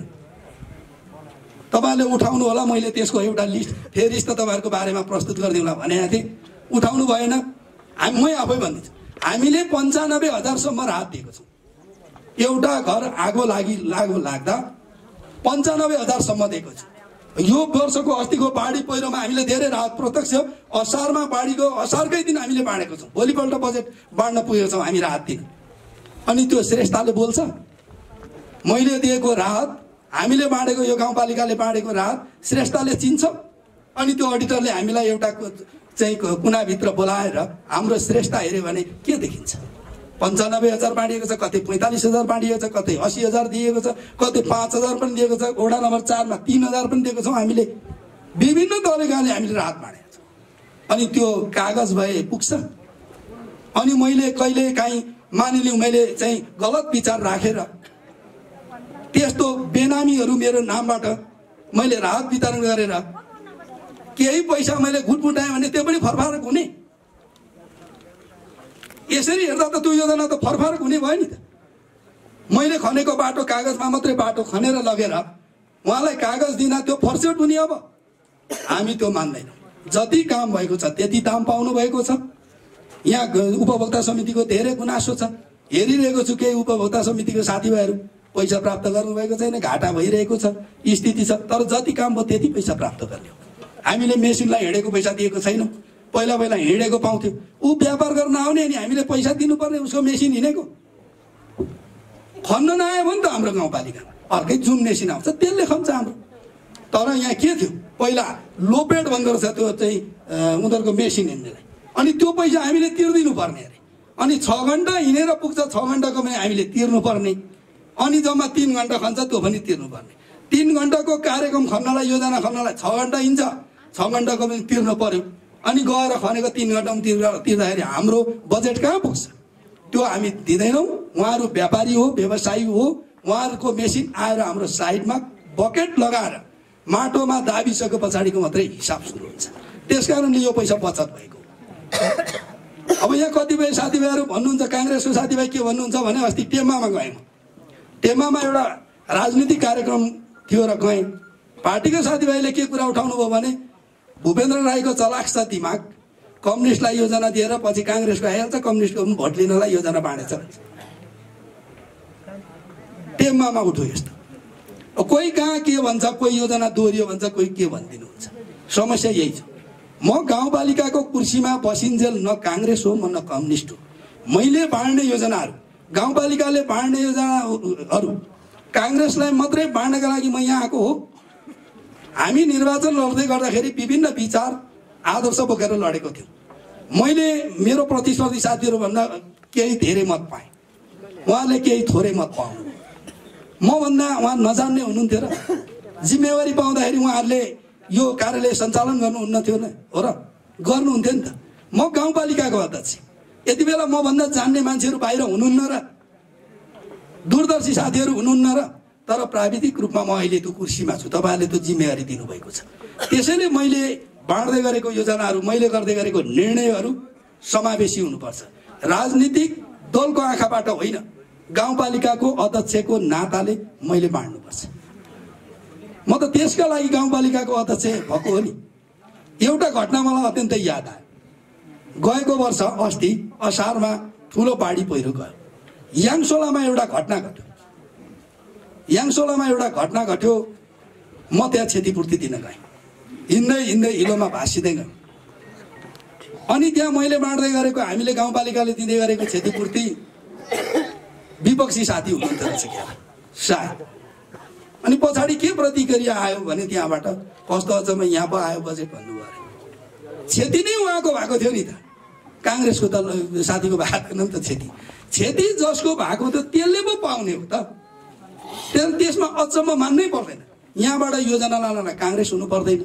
यहाँबाट योजना लानलाई कम्युनिस्ट पनि हुनु पर्दैन। अरौटे भरौटे केही पनि हुनु पर्दैन। तर योजनाको आवश्यकता चाहिँ हुनु पर्यो। आफ्नो व्यक्तिगत मनोकाङ्क्षा पुरा गर्नका लागि कसैले बजेट माग्नु भएको छ भने चाहिँ गएको वर्ष हामीले बजेट दिएनौँ नि ओडामा किनभने धेरै बजेट चाहिँ के भयो भने व्यक्तिगत रूपमा गएछ। योजना सक्सेस भएन। त्यस कारणले यसपालि हामी सबैले छलफल गऱ्यौँ। बिचमा हामी बिचमा केही द्वन्द्व पनि भयो। पछि बसेर छलफल गऱ्यौँ सही नै आयो त्यस कारणले बजेट बाँड्ने कुरामा योजना सक्सेस गर्ने कुरामा गाउँपालिकालाई समृद्ध बनाउने कुरामा हामीले के गर्नु पर्यो मैले भन्ने गरेको छु तपाईँहरूलाई सधैँ। हामीलाई असारमा घसिआएको गोरु जस्तो हो हामी। मैले यो शब्द दोहोऱ्याउन चाहेँ। संयोग पनि मिलेको छ। सधैँ असारमा गोरु घस्याइन्छ खोले खुवाइन्छ अनि जोत्न लगिन्छ। हामी पनि त्यही हो जनप्रतिनिधि। हामी असारमा तपाईँहरूले घसिआएको गोरु जस्तै हो। अब तपाईँहरूले हामीलाई जोत्नु पर्यो यति बेला। हामीलाई दह्रो बनाउनु भएको छ मत दिनुभएको छ ठाउँमा पुर्याउनु भएको छ। अब तपाईँले हामीलाई जोत्न सक्नु भएन। यो त नेता हो यो ठुलो मान्छे हो यो गाउँपालिकाको अध्यक्ष हो वडा अध्यक्ष हो सदस्य हो। यसलाई बोलाइयो भने यसले यो योजना पो नदेला कि नभन्ला कि नमान्ला कि? भन्ने ठान्नुभयो भने तपाईँको बारी पाँचै रहन्छ। भनेको योजना सक्सेस राम्रो हुँदैन। र योजना देखाउनुहोस् न। ल वडा अध्यक्षलाई तपाईँले योजना दिँदै माग्दै गर्दा दिएन भने यहाँ आउनुहोस् त। वडा अध्यक्षले पनि तपाईँको योजना साँच्चै आवश्यक थियो दिन सक्नु भएन भने म दिन्छु त्यही भएर मलाई गाउँपालिकाको अध्यक्षमा मतदान गर्नुभएको होला नि निर्णय गर्न सक्छ योसँग क्षमता छ यो अन्धो हो।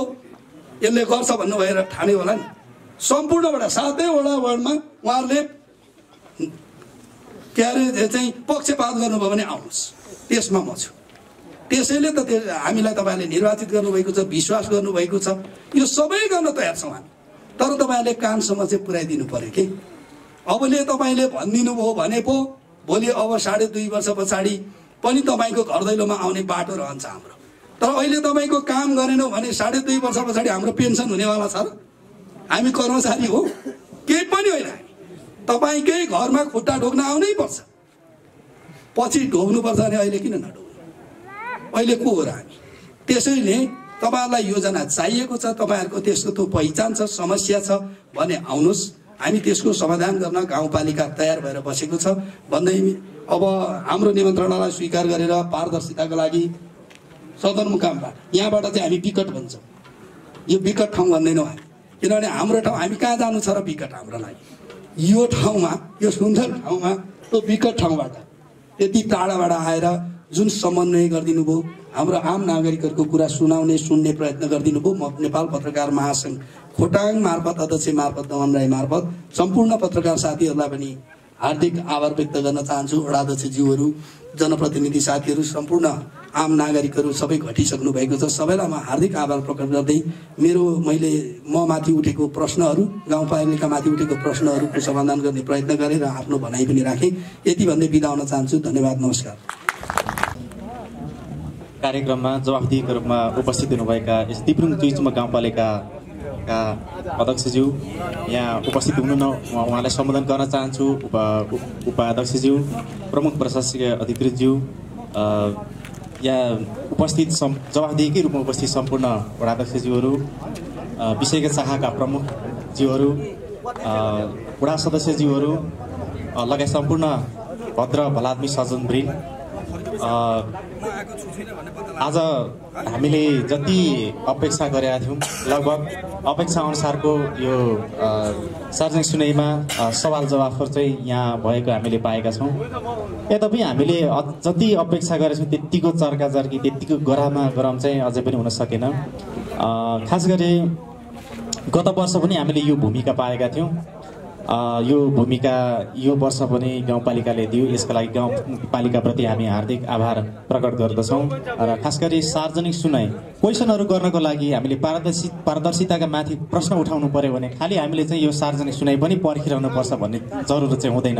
हामीले जुनसुकै बेला जुनसुकै ठाउँमा पनि यो पारदर्शितामाथि हामीले आज जसरी क्वेसनहरू गऱ्यौँ त्यो क्वेसनहरू गर्नको लागि चाहिँ सधैँ नै बाटो खुला हुन्छ भन्ने म मान्यता राख्छु। चाहिँ एउटा क्वेसन गर्नको लागि हामीले वर्ष दिन पर्खिनुपर्छ अथवा चार महिना पर्खिनुपर्छ छ महिना पर्खिनुपर्छ भन्ने मलाई लाग्दैन।